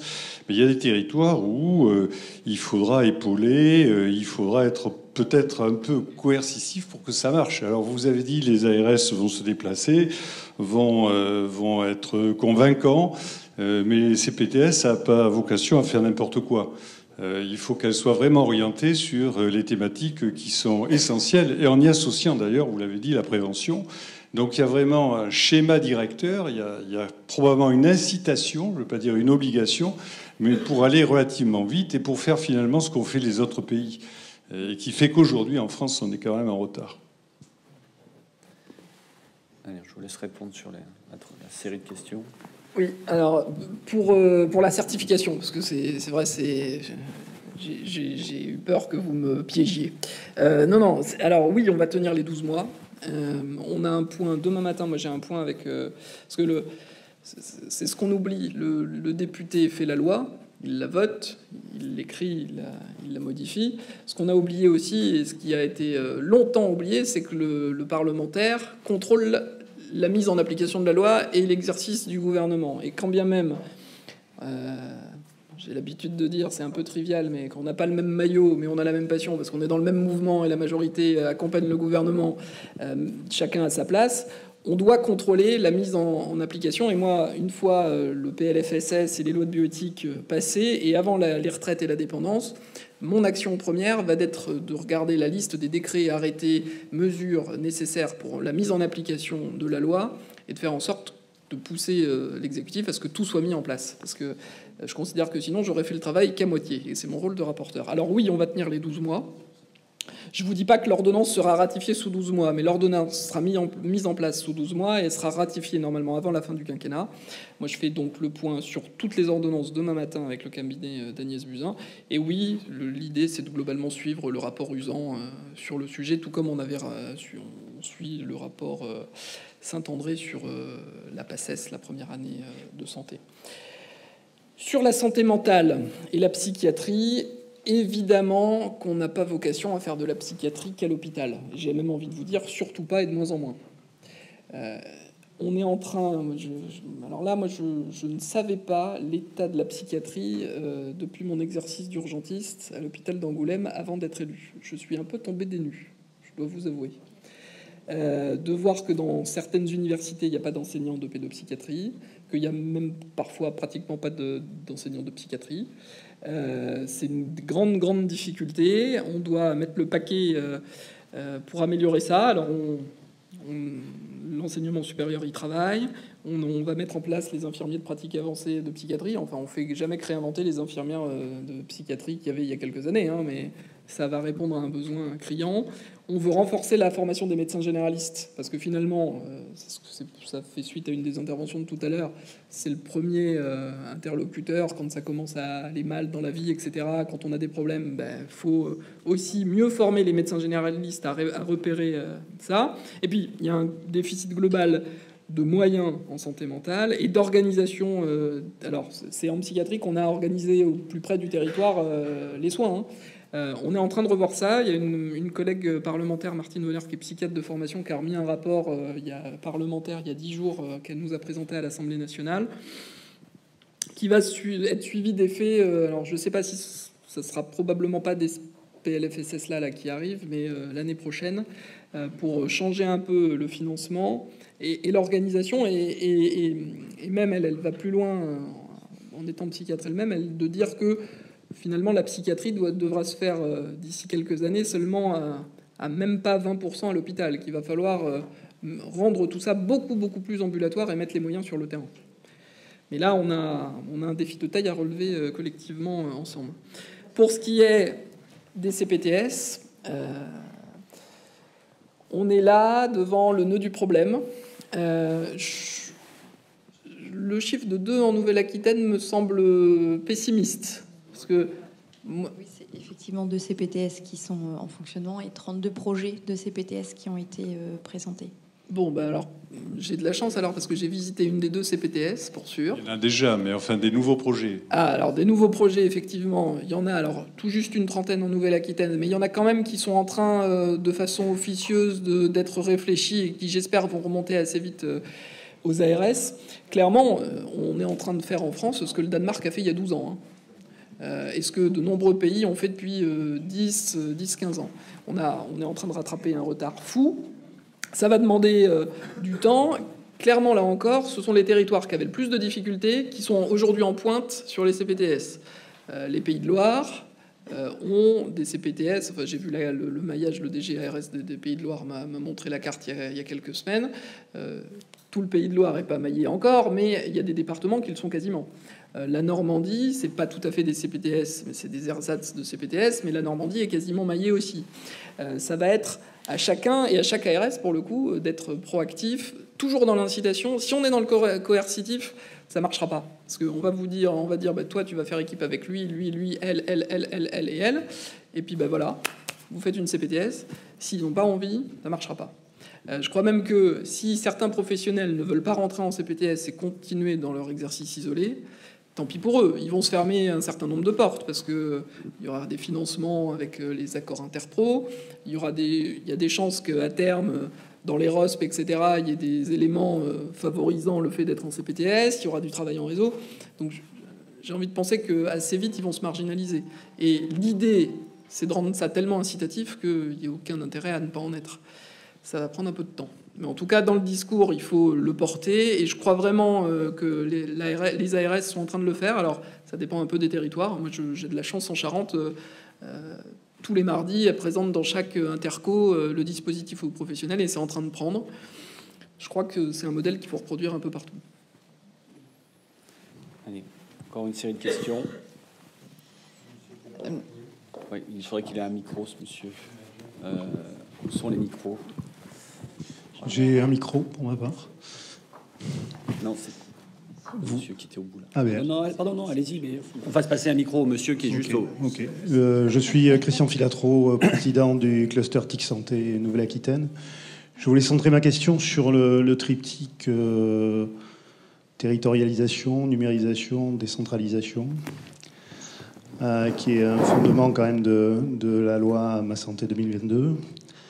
Euh, on, est dans, euh, une problématique euh, qui, pousse à, penser que la numérisation du système de santé va avoir une tendance naturelle à une forme de centralisation de l'organisation du système de santé.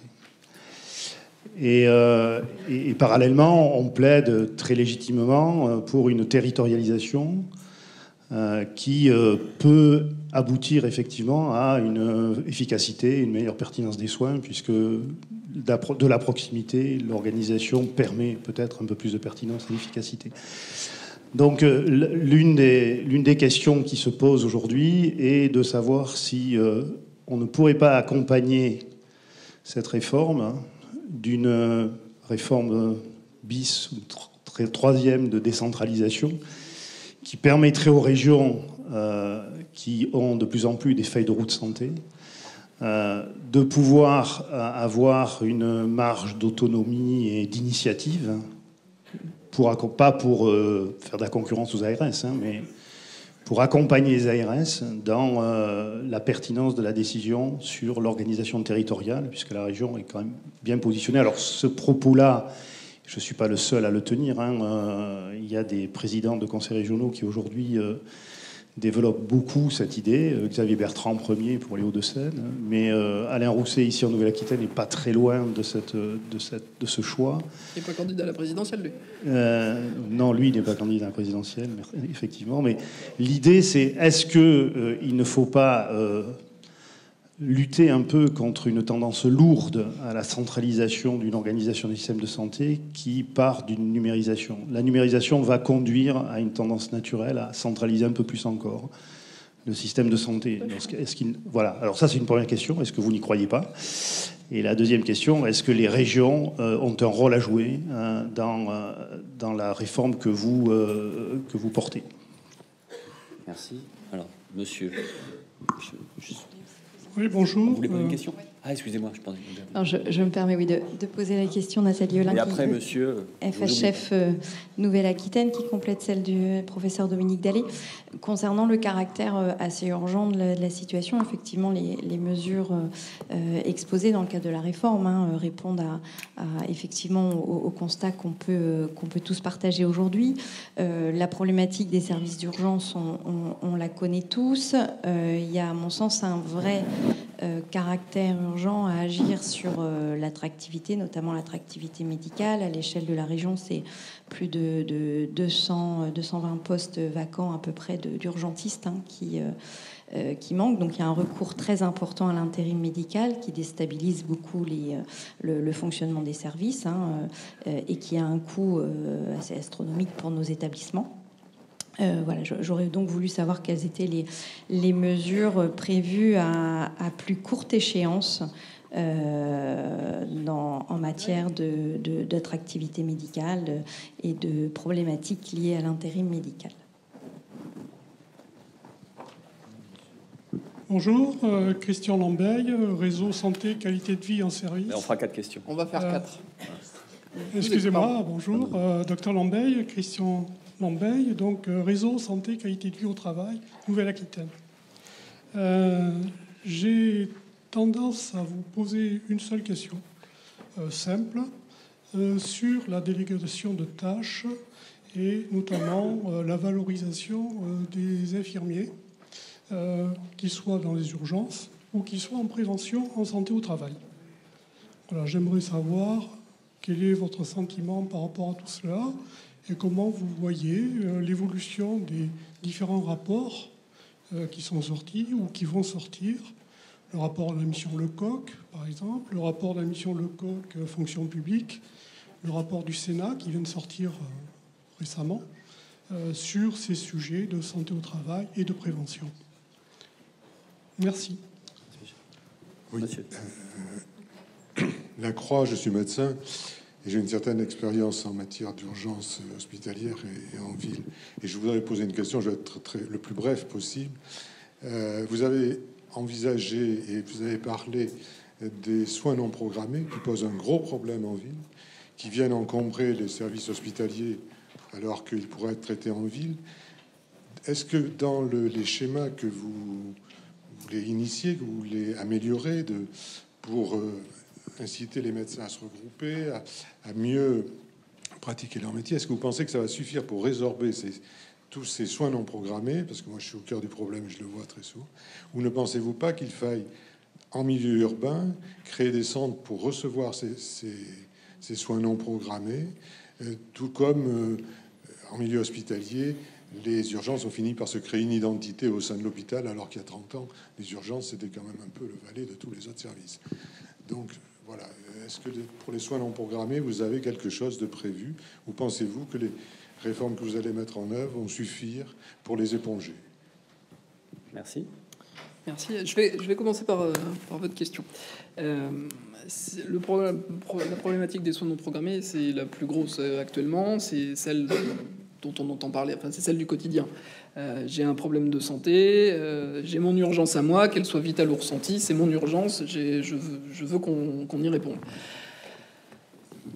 Alors, euh, il y a le service d'accès aux soins, le, fameux SAS, qui va être mis en place avant l'été 2020, qui veut être une plateforme téléphonique et numérique sur laquelle on pourra aller pour avoir une réponse à sa demande et être orienté dans le système de santé, parce qu'il y a aussi un on a un problème d'accès aux soins et d'accès à un médecin traitant, mais il y a quand même une grosse problématique de connaissance de notre système de santé et d'orientation dans celui-ci.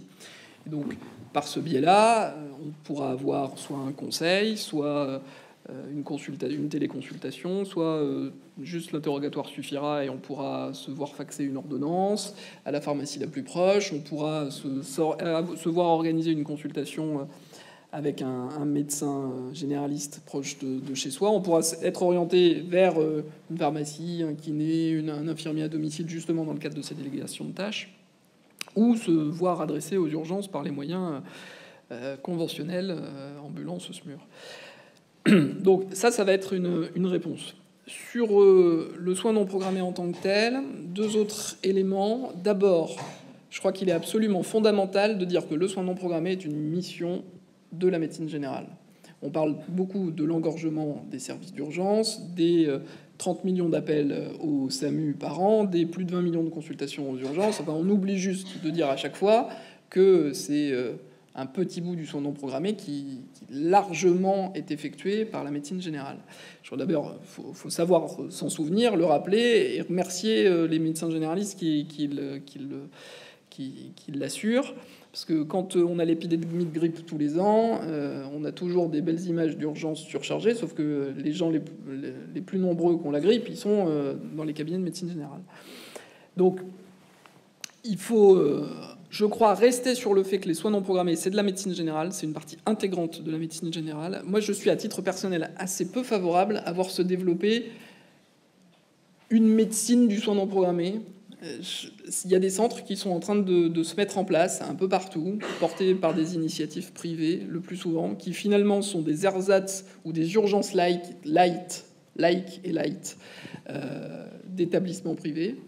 J'ai rien contre les établissements privés, mais il y a un sujet quand même euh, sur ces services, sur ces centres de soins qu'on appelle euh, soins urgents, soins immédiats, soins inopinés, soit qui sont plus de la médecine générale, pas encore de la médecine d'urgence, euh, qui souvent ne s'intègre absolument pas dans le parcours de soins du territoire. Il n'y a pas de lien fait avec le médecin généraliste, il n'y a pas de lien fait avec euh, les établissements de santé. Ça répond à une demande consumériste de soins, mais ça ne s'intègre pas du tout euh, dans l'efficience des parcours, dans la régulation des parcours de soins, à titre personnel, je ne crois pas que ce soit une, spécialité à développer. D'ailleurs, je ne crois pas qu'il y ait grand monde autour de nous dans les pays euh, qui l'ait développé. Je crois vraiment qu'il faut axer sur la médecine générale et ouvrir sur les délégations de compétences. Pour vous donner un, exemple, l'amendement que j'ai porté sur les pathologies dites du quotidien, que sont euh, par exemple l'angine ou la conjonctivite, certaines pathologies où on se dit qu'un professionnel de santé non médecin euh, peut selon un cadre protocole national fixé par la chaise, avec des drapeaux rouges qui font que s'il y a le moindre signe, qui, euh, le moindre doute, c'est quelque chose que j'ai appris durant mon internat, quand il y a un doute, il n'y a plus de doute, euh, il n'y a pas de place au doute, mais que dans certaines situations simples, on n'a pas besoin euh, d'un médecin. Rien que cet amendement-là, dans les travaux, dans les perspectives et études d'impact fait depuis par le ministère, on, on envisage que c'est 4,4 millions de consultations par an évitées chez un médecin généraliste c'est l'équivalent de 1000 médecins généralistes créés en temps médical. Ça va être un vrai plus pour l'accès aux soins de nos concitoyens.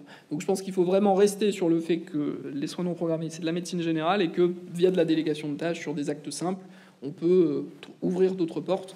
Mais je suis à titre personnel en tout cas, et sur les visites que j'ai pu réaliser, assez peu favorable à des centres euh, intermédiaires. Sur euh, les autres Question. Alors le rôle des régions et le numérique. Moi, je ne crois pas que le numérique favorise. Je sais pas, vous êtes là, je crois pas que le numérique favorise davantage de centralisation. Je crois pas. Au contraire, moi, je pense que ça peut remettre plus de proximité. Après, c'est aussi l'utilisation qu'on va en faire. C'est jamais qu'un outil. Hein. moi, je pense que ça peut remettre de la proximité, justement dans les exemples que je donnais tout à l'heure, de plus de liens avec les professionnels euh, qui, prennent, euh, nous prennent en charge. Après, sur le rôle des régions en tant que telles, les, régions sont, euh, pour beaucoup, c'est le cas de la Nouvelle-Aquitaine, engagées sur la silver economy, sur euh, je crois, auront toute leur place, notamment euh, dans la dépendance, avec les aidants. Euh, je, crois que ça va se faire beaucoup par là. Dans la loi santé, en tout cas, on a donné la part belle aux communes pour remettre le, dans le maillon le plus petit, le plus proche, notamment sur les politiques de, prévention. Mais bien sûr que les régions peuvent aussi poser des, porter des politiques aussi de, prévention, mais c'est pas directement. C'est la compétence. Oui, oui, c'est la compétence générale. Elles peuvent en faire, euh, elles peuvent l'utiliser comme elles veulent. Mais, mais, globalement, on est quand même toujours sur le, système euh, décentralisé avec les, agences régionales de santé. Et sur la politique, on veut vraiment donner le, plus de force au maillon le plus local de, la commune.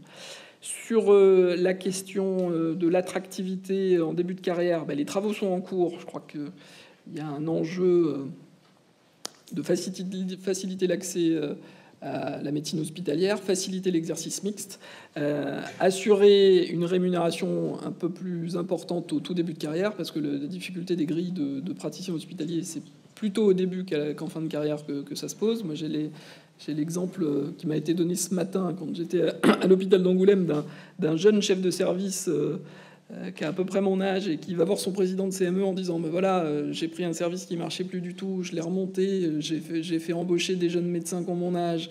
On a remis le plateau technique en route on a augmenté l'activité du service on rend un vrai service à la population. Et j'ai ça sur ma feuille de paye. Et je passe du temps à organiser à être chef de service et c'est du temps administratif etc etc et ben, j'aime bien l'exercice public, j'y crois, voilà, mais euh, à la, clinique d'à côté, je peux travailler moins et gagner beaucoup plus. Est-ce qu'il n'y a pas un sujet Alors, dit comme ça, c'est un peu, ça peut paraître un peu cynique, ça peut, mais c'est la, c'est la réalité, c'est la réalité. Euh, on a aujourd'hui de plus en plus, et ça reboucle avec l'intérim, d'intérimaires qui sont en fait des PH qui, une fois qu'ils ont fait leur temps plein, vont faire une pige dans l'hôpital d'à côté euh, pour améliorer leur leur salaire et leur euh, fin de mois. Alors, moi, j'essaie toujours, quand j'ai ces discussions, il faut travailler à l'attractivité, euh, notamment dans les carrières hospitalières, aussi en libéral, j'y suis pas euh, opposé. Après, il faut quand même remettre un peu de perspective et sortir de la vision un peu microscopique du docteur. Il y a quelques mois, on a fait face en France, partout, en particulier à Bordeaux, à un mouvement social d'une ampleur jamais connue. et je, c'est ce que je dis quand les médecins libéraux, notamment les syndicats, viennent me voir en me disant c'est simple, il n'y a pas de problème, monsieur le député. Vous mettez la consultation à 50 euros, vous verrez, on va tout régler. Il n'y aura plus de problème. Vous embêtez pas avec les CPTS, vous embêtez. On va tout faire. Donnez-nous juste un peu plus d'argent. Souvent, je leur dis mais est-ce que vous avez connu des gilets jaunes? Parce que si on donne, si on double le salaire des médecins, va quand même y avoir un sujet parce que finalement, les médecins ne sont pas les plus malheureux dans, dans la globalité. Donc, il y a des efforts à faire, c'est sûr. Je pense que ça doit jouer surtout sur plus de souplesse dans les différents types d'exercices. Effectivement, valoriser le début de carrière et lutter contre ces dérives euh, de l'intérim où finalement, euh, j'ai envie de dire qu'il faudrait que la peur change de camp. C'est plus à l'hôpital d'avoir peur de devoir fermer une ligne de garde ou de devoir fermer un bloc parce que l'urgentiste ou l'anesthésiste euh, intérimaire mercenaire fait faux bon il faut qu'on arrive à trouver un système où c'est l'intérimaire qui doit avoir peur de ne pas respecter les règles et de demander plus parce que c'est la course euh, à l'échalote. Alors, dans le pacte euh, de refondation des urgences, la ministre a annoncé euh, différents mécanismes pour valoriser le travail de territoire et finalement développer. Alors, on n'est pas encore dans les équipes de territoire, mais aider et inciter à la coopération. Ça, va être vraiment euh, ce qu'il faut faire. Je crois qu'il faut quand même encore aller plus loin, je suis en train d'y travailler pour faire en sorte que euh, bah, il y a un décret qui a été pris en 2017 qui soit respecté et de finalement pas sanctionner l'hôpital quand il ne le respecte pas, parce que souvent c'est qu'il n'a plus d'autre choix que de faire ça, mais de sanctionner le médecin qui fait euh, monter les enchères. J'ai des travaux en cours, j'espère qu'ils vont pouvoir aboutir d'ici le PLFSS. En tout cas, c'est quelque chose qu'on travaille de près.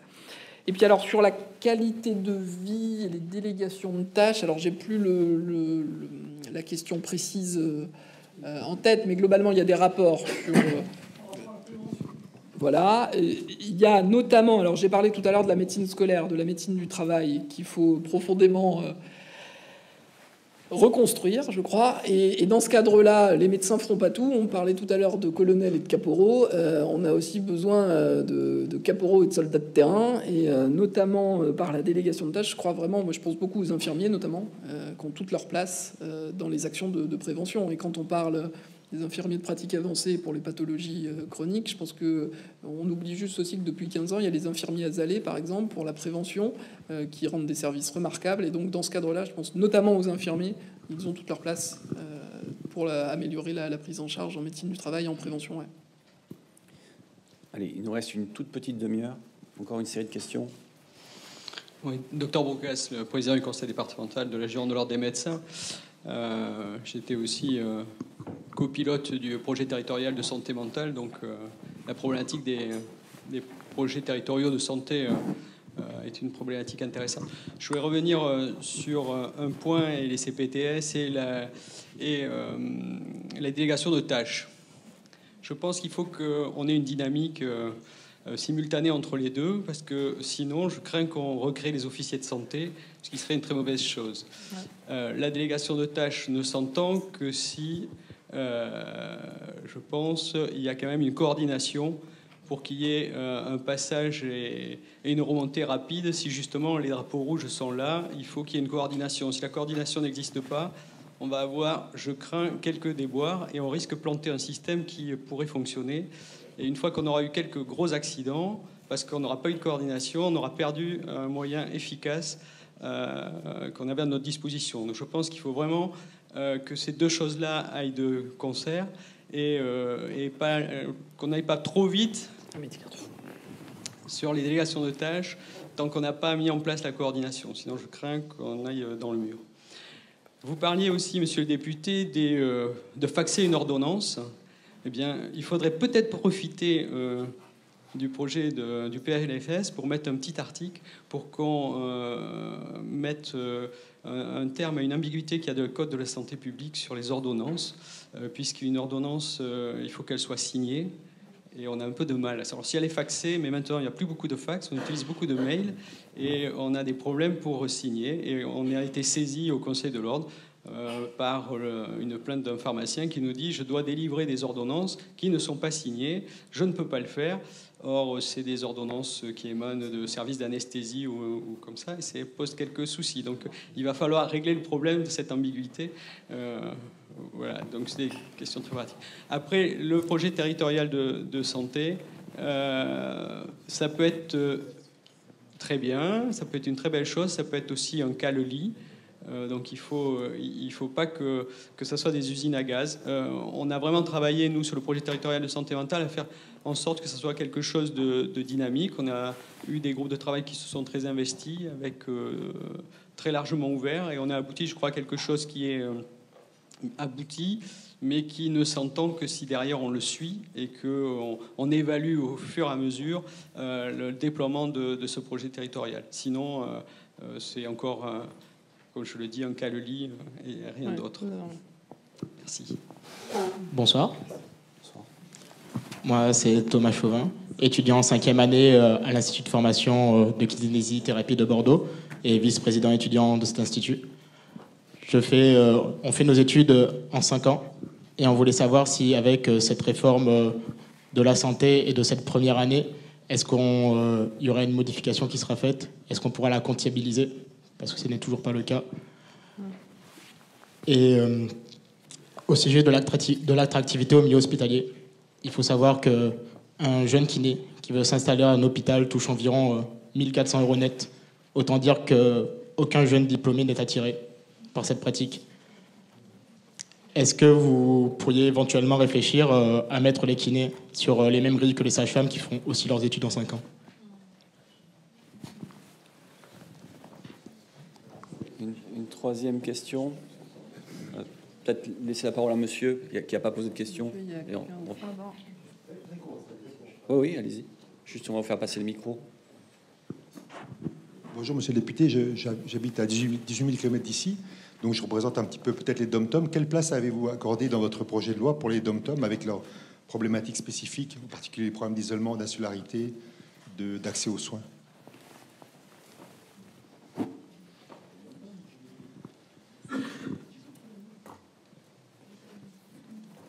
Il y a trois questions, mais en fait, il y a beaucoup plus de questions. Euh, sur, euh, pour essayer de les reprendre euh, dans l'ordre. Sur les CPTS et les délégations de tâches, évidemment qu'il ne faut pas mettre la charrue avant les bœufs, qu'il faut faire en sorte que les CPTS se mettent en place, que de la coordination se mette en place pour ensuite pouvoir assurer des délégations de tâches correctement. D'ailleurs, dans les amendements qui sont devenus la loi, d'ailleurs, que moi j'ai porté, écrit, j'ai toujours mis, et c'était d'ailleurs un point assez important pour l'acceptabilité des différentes professions, et en particulier des médecins, euh, j'ai inscrit le fait que ça ne peut se faire que dans le cadre d'un exercice coordonné, dans le cas où tout le monde dans l'équipe est d'accord pour le mettre en place. Donc, je vais reprendre la, dispensation sous protocole pour les pharmaciens, par exemple. Ça ne peut se faire que dans le cadre d'un exercice coordonné où les médecins sont d'accord et avec un lien obligatoire par écrit au médecin traitant. Euh, donc, on a mis dans chaque cas des garde-fous pour faire en sorte que ça ne se fasse que dans le cadre d'un exercice coordonné. Alors, euh, exercice coordonné, c'est soit la CPTS dont on parle depuis tout à l'heure, c'est la maison de santé pluridisciplinaire ou l'équipe de soins primaires.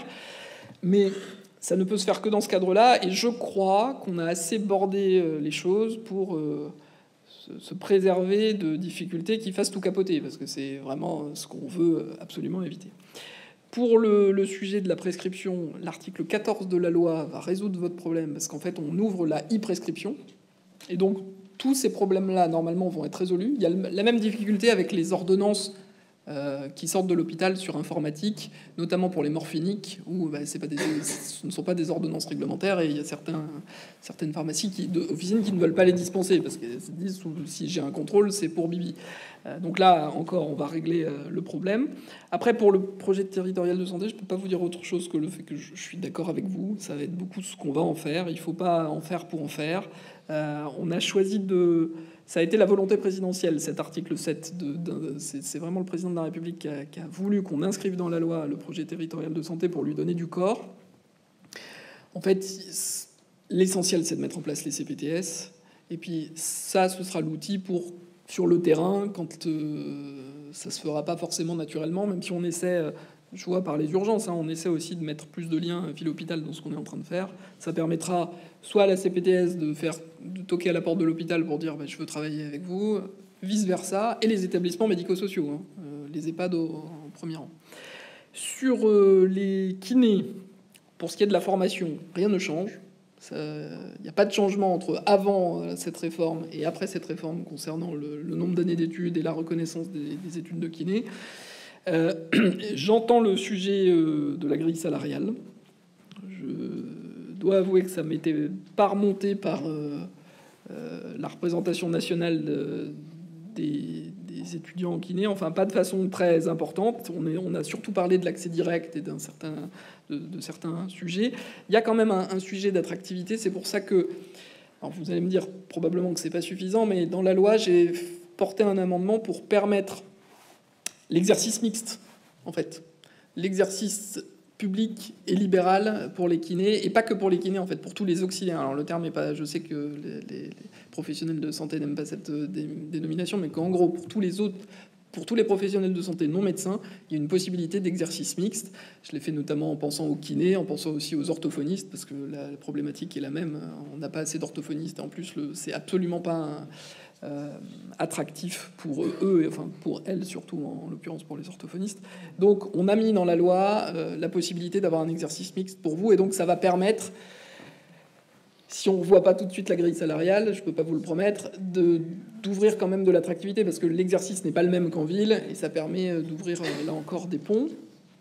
Pour ce qui est des dom-toms, il y disposition, il y a quelques dispositions, il y a la création de l'ARS à Mayotte, où là, le problème est. Enfin, la, sortie de crise est devant nous, hein, il y a énormément euh, de travail à faire. Euh, il y a certaines dispositions, notamment pour que euh, on puisse ouvrir, notamment, je pense à la Guadeloupe, à la Martinique, accueillir, utiliser, le terme n'est pas bon, mais employer des médecins venus d'Amérique dans ces, territoires-là. Et pour le reste, c'est le cadre global qui va s'y jouer.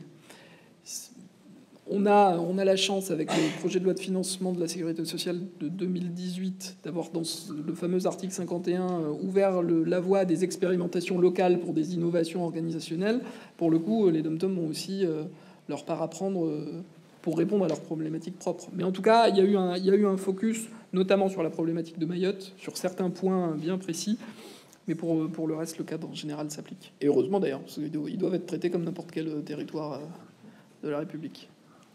Merci. On a encore un, petit peu de temps, en, priorisant peut-être les personnes qui n'ont pas posé de questions. Voilà, si nous avons deux questions, c'est parfait. Oui, bonjour, docteur Vaillant. Euh, plusieurs pratiques dans la médecine générale. Est-ce que vous pouvez nous préciser la situation, l'état de, la réflexion pour les maternités et, les lieux d'accouchement? Je ne vois pas euh, où vous les mettez. Et aussi, si vous avez le temps, est-ce que vous avez, a été prévu le, changement de spécialité en, cours de carrière pour les médecins? Je crois qu'on avait une question au fond. Oui, madame? Au fond là-bas.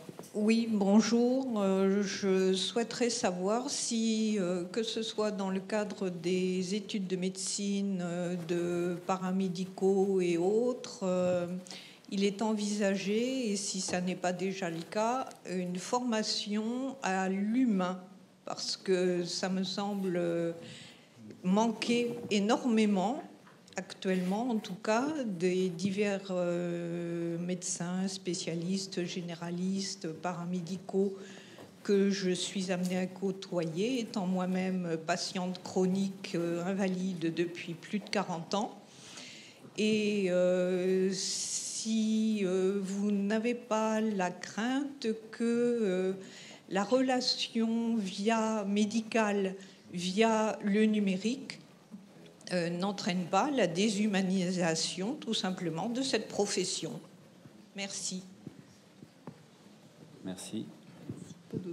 Alors on a pour le coup voilà pour dernière dernière question. Oui monsieur. Allez-y. Je peux? Oui. Je, je voulais poser une question, une, question évidemment qui va s'attacher à l'environnement juridique dans lequel évolue la santé, mais aussi à l'environnement, aux déterminations finalement de la gouvernance. Euh, je vais revenir sur le thème du sport santé, c'est-à-dire le thème de la prévention, effectivement, par l'activité physique. Euh, aujourd'hui, nous sommes dans un système qui a été mis en place par de nombreuses études depuis 2012, en particulier sur effectivement la structuration du sport santé, sa définition d'une part thérapeutique et d'autre part euh, préventive. Et il s'avère que sur le plan thérapeutique, les choses sont claires. Euh, l'opération se déroule finalement sous l'autorité des ordonnances, de l'ordonnance du médecin. En ce qui concerne le sport lui-même, il découle finalement des ordonnances, mais d'autres ordonnances, c'est-à-dire des, finalement des règlements de l'État qui découlent de 1945 sur l'organisation du sport. Et finalement, on se retrouve dans une situation où toutes sortes d'intervenants interviennent actuellement dans le domaine du sport santé.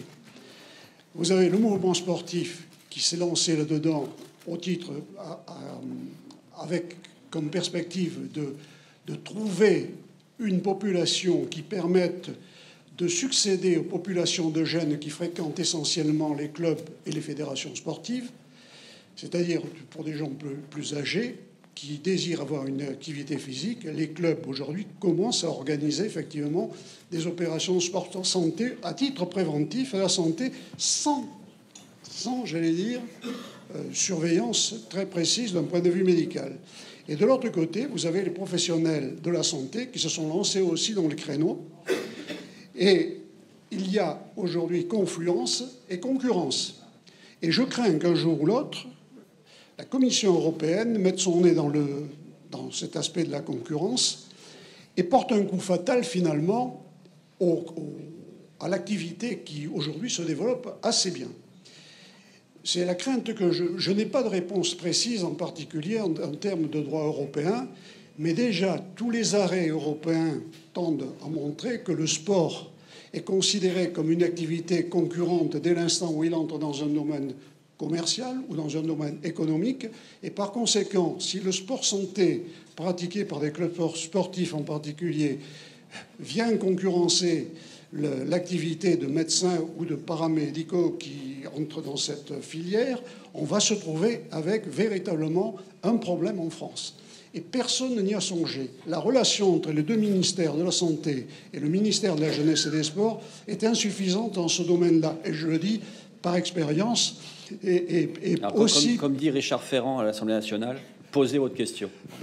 Mais la question que je veux savoir, c'est si on peut trouver effectivement des réponses, et en particulier des réponses juridiques, pour euh, coordonner effectivement ce, j'allais dire, ce champ de concurrence. Voilà. Merci, monsieur. Merci. Oui, à l'Assemblée nationale, on a deux minutes. Et au bout de deux minutes, le micro s'arrête. Euh, alors, plusieurs euh, questions, merci, très différentes. Alors, sur la question des maternités. Sur la question des maternités, il n'y a pas eu de changement de politique publique euh, en matière de gradation et d'autorisation de, soins et de maternité. il se trouve que dans un certain nombre de territoires, on a des problèmes pour maintenir ouverte la ligne de garde avec l'obstétricien, avec l'anesthésiste, pour assurer une qualité de soins suffisante à la population, une qualité de, bah, de, professionnel pour prendre en charge les femmes qui doivent accoucher.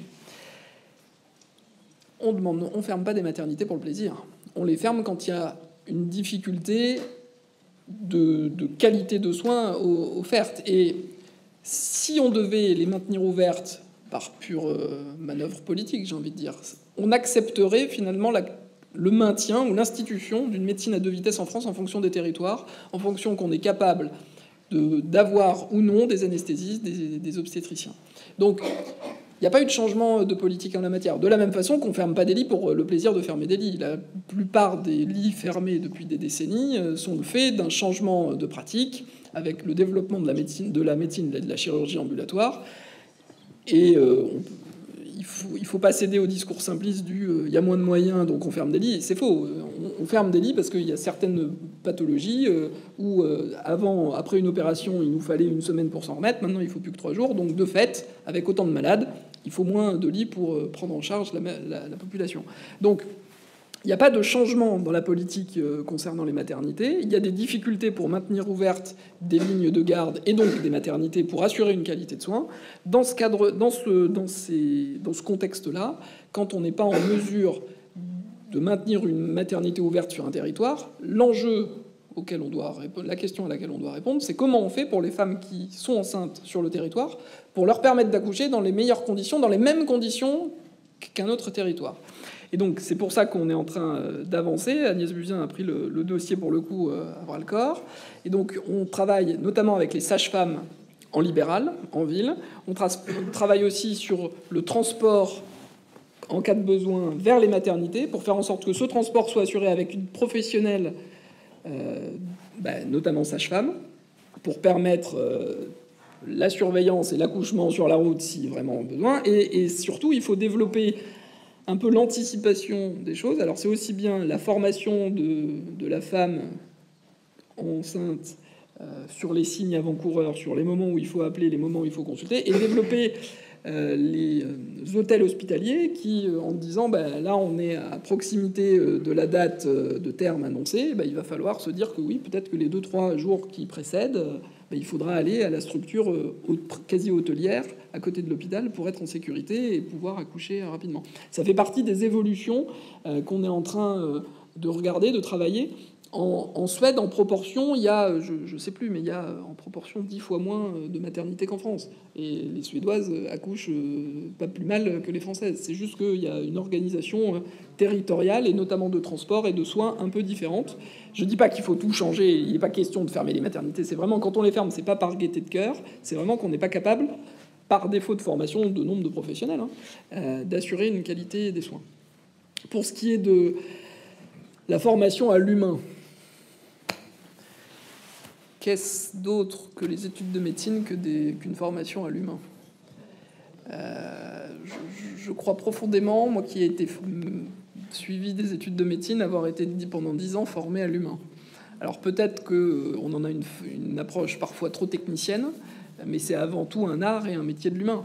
Euh, patient, patient expert. oui, alors on va justement euh, avancer là-dessus, notamment en diversifiant les profils à l'entrée, pour justement euh, avoir peut-être un peu moins d'étudiants qui ont la bosse des maths et des gens qui sont un peu plus ouverts à, d'autres sciences. Et puis on va notamment faire appel aux, patients évaluateurs, où là encore, ça va être une autre, approche pour évaluer et pour, euh, former euh, les jeunes. Je ne crois pas du tout que le numérique soit un acteur, euh, quelque chose qui va vraiment déshumaniser le soin. Je pense qu'au contraire, ça peut en remettre. Alors, il faut, c'est vraiment un outil, hein, le numérique. On en fera ce qu'on veut en faire. moi, quand je vois qu'on ouvre la télémédecine et le télésoin, que quand on habite Guéret dans la Creuse, on n'a pas d'orthophoniste, alors qu'à Bordeaux, il y en a un certain nombre qui ont encore un peu de place dans leur dans leur carnet de consultation, eh ben, on va ouvrir via le numérique un accès, alors certes à distance, un humain, un professionnel de santé qui pourra répondre à vos besoins. J'aurais pu prendre l'exemple de la psychiatrie parce que c'est la même chose. Je crois, je crois vraiment que c'est justement peut-être un moyen de remettre plus d'humains, d'ailleurs. Euh, pour ce qui est du sport santé, alors là la question est vaste, je pense que ça pourrait être une rencontre d'Hippocrate à elle seule. Effectivement, les liens entre le ministère de la Santé et le ministère des Sports pourraient se renforcer sur le sujet. Euh, il y a des réflexions qui sont portées par quelques parlementaires. J'avoue ne pas en être, parce que moi je suis vraiment euh, sur l'accès aux soins en particulier. Je pense qu'on a, on a des progrès à faire. Le sport sur ordonnance, je ne sais pas. Je crois pas. Mais il faut, il faut en tout cas euh, avancer sur la pratique sportive, l'activité sportive, parce que sport ne veut pas forcément dire compétition. Et ça peut être un. Non, mais mais vous l'avez utilisé à dessein, je sais, mais quand euh, en début de quinquennat le sport santé est arrivé, il a été plus présenté en tout cas à la ministre, parce qu'elle m'en a parlé sous le, contexte de sport, compétition. Donc euh, c'est pas comme ça qu'il faut aborder les choses. Euh, mais l'activité physique, c'est sûr, en matière de prévention primaire ou secondaire, tertiaire, est effectivement quelque chose de très très fort qu'il faut porter. Mais sur ordonnance, je ne sais pas. Je n'ai pas encore de réponse à votre question. Ça m'embête de, finir comme ça, mais à cette question, je n'ai pas vraiment de réponse.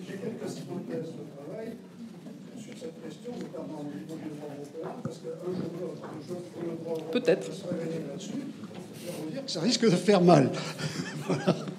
Écoutez, nous, allons euh, terminer. Comme ça, vous allez garder un petit peu de marge pour, euh, pour le train. Nous allons vous remercier vivement pour avoir, euh, être venu nous voir, avoir accepté de, de jouer le jeu.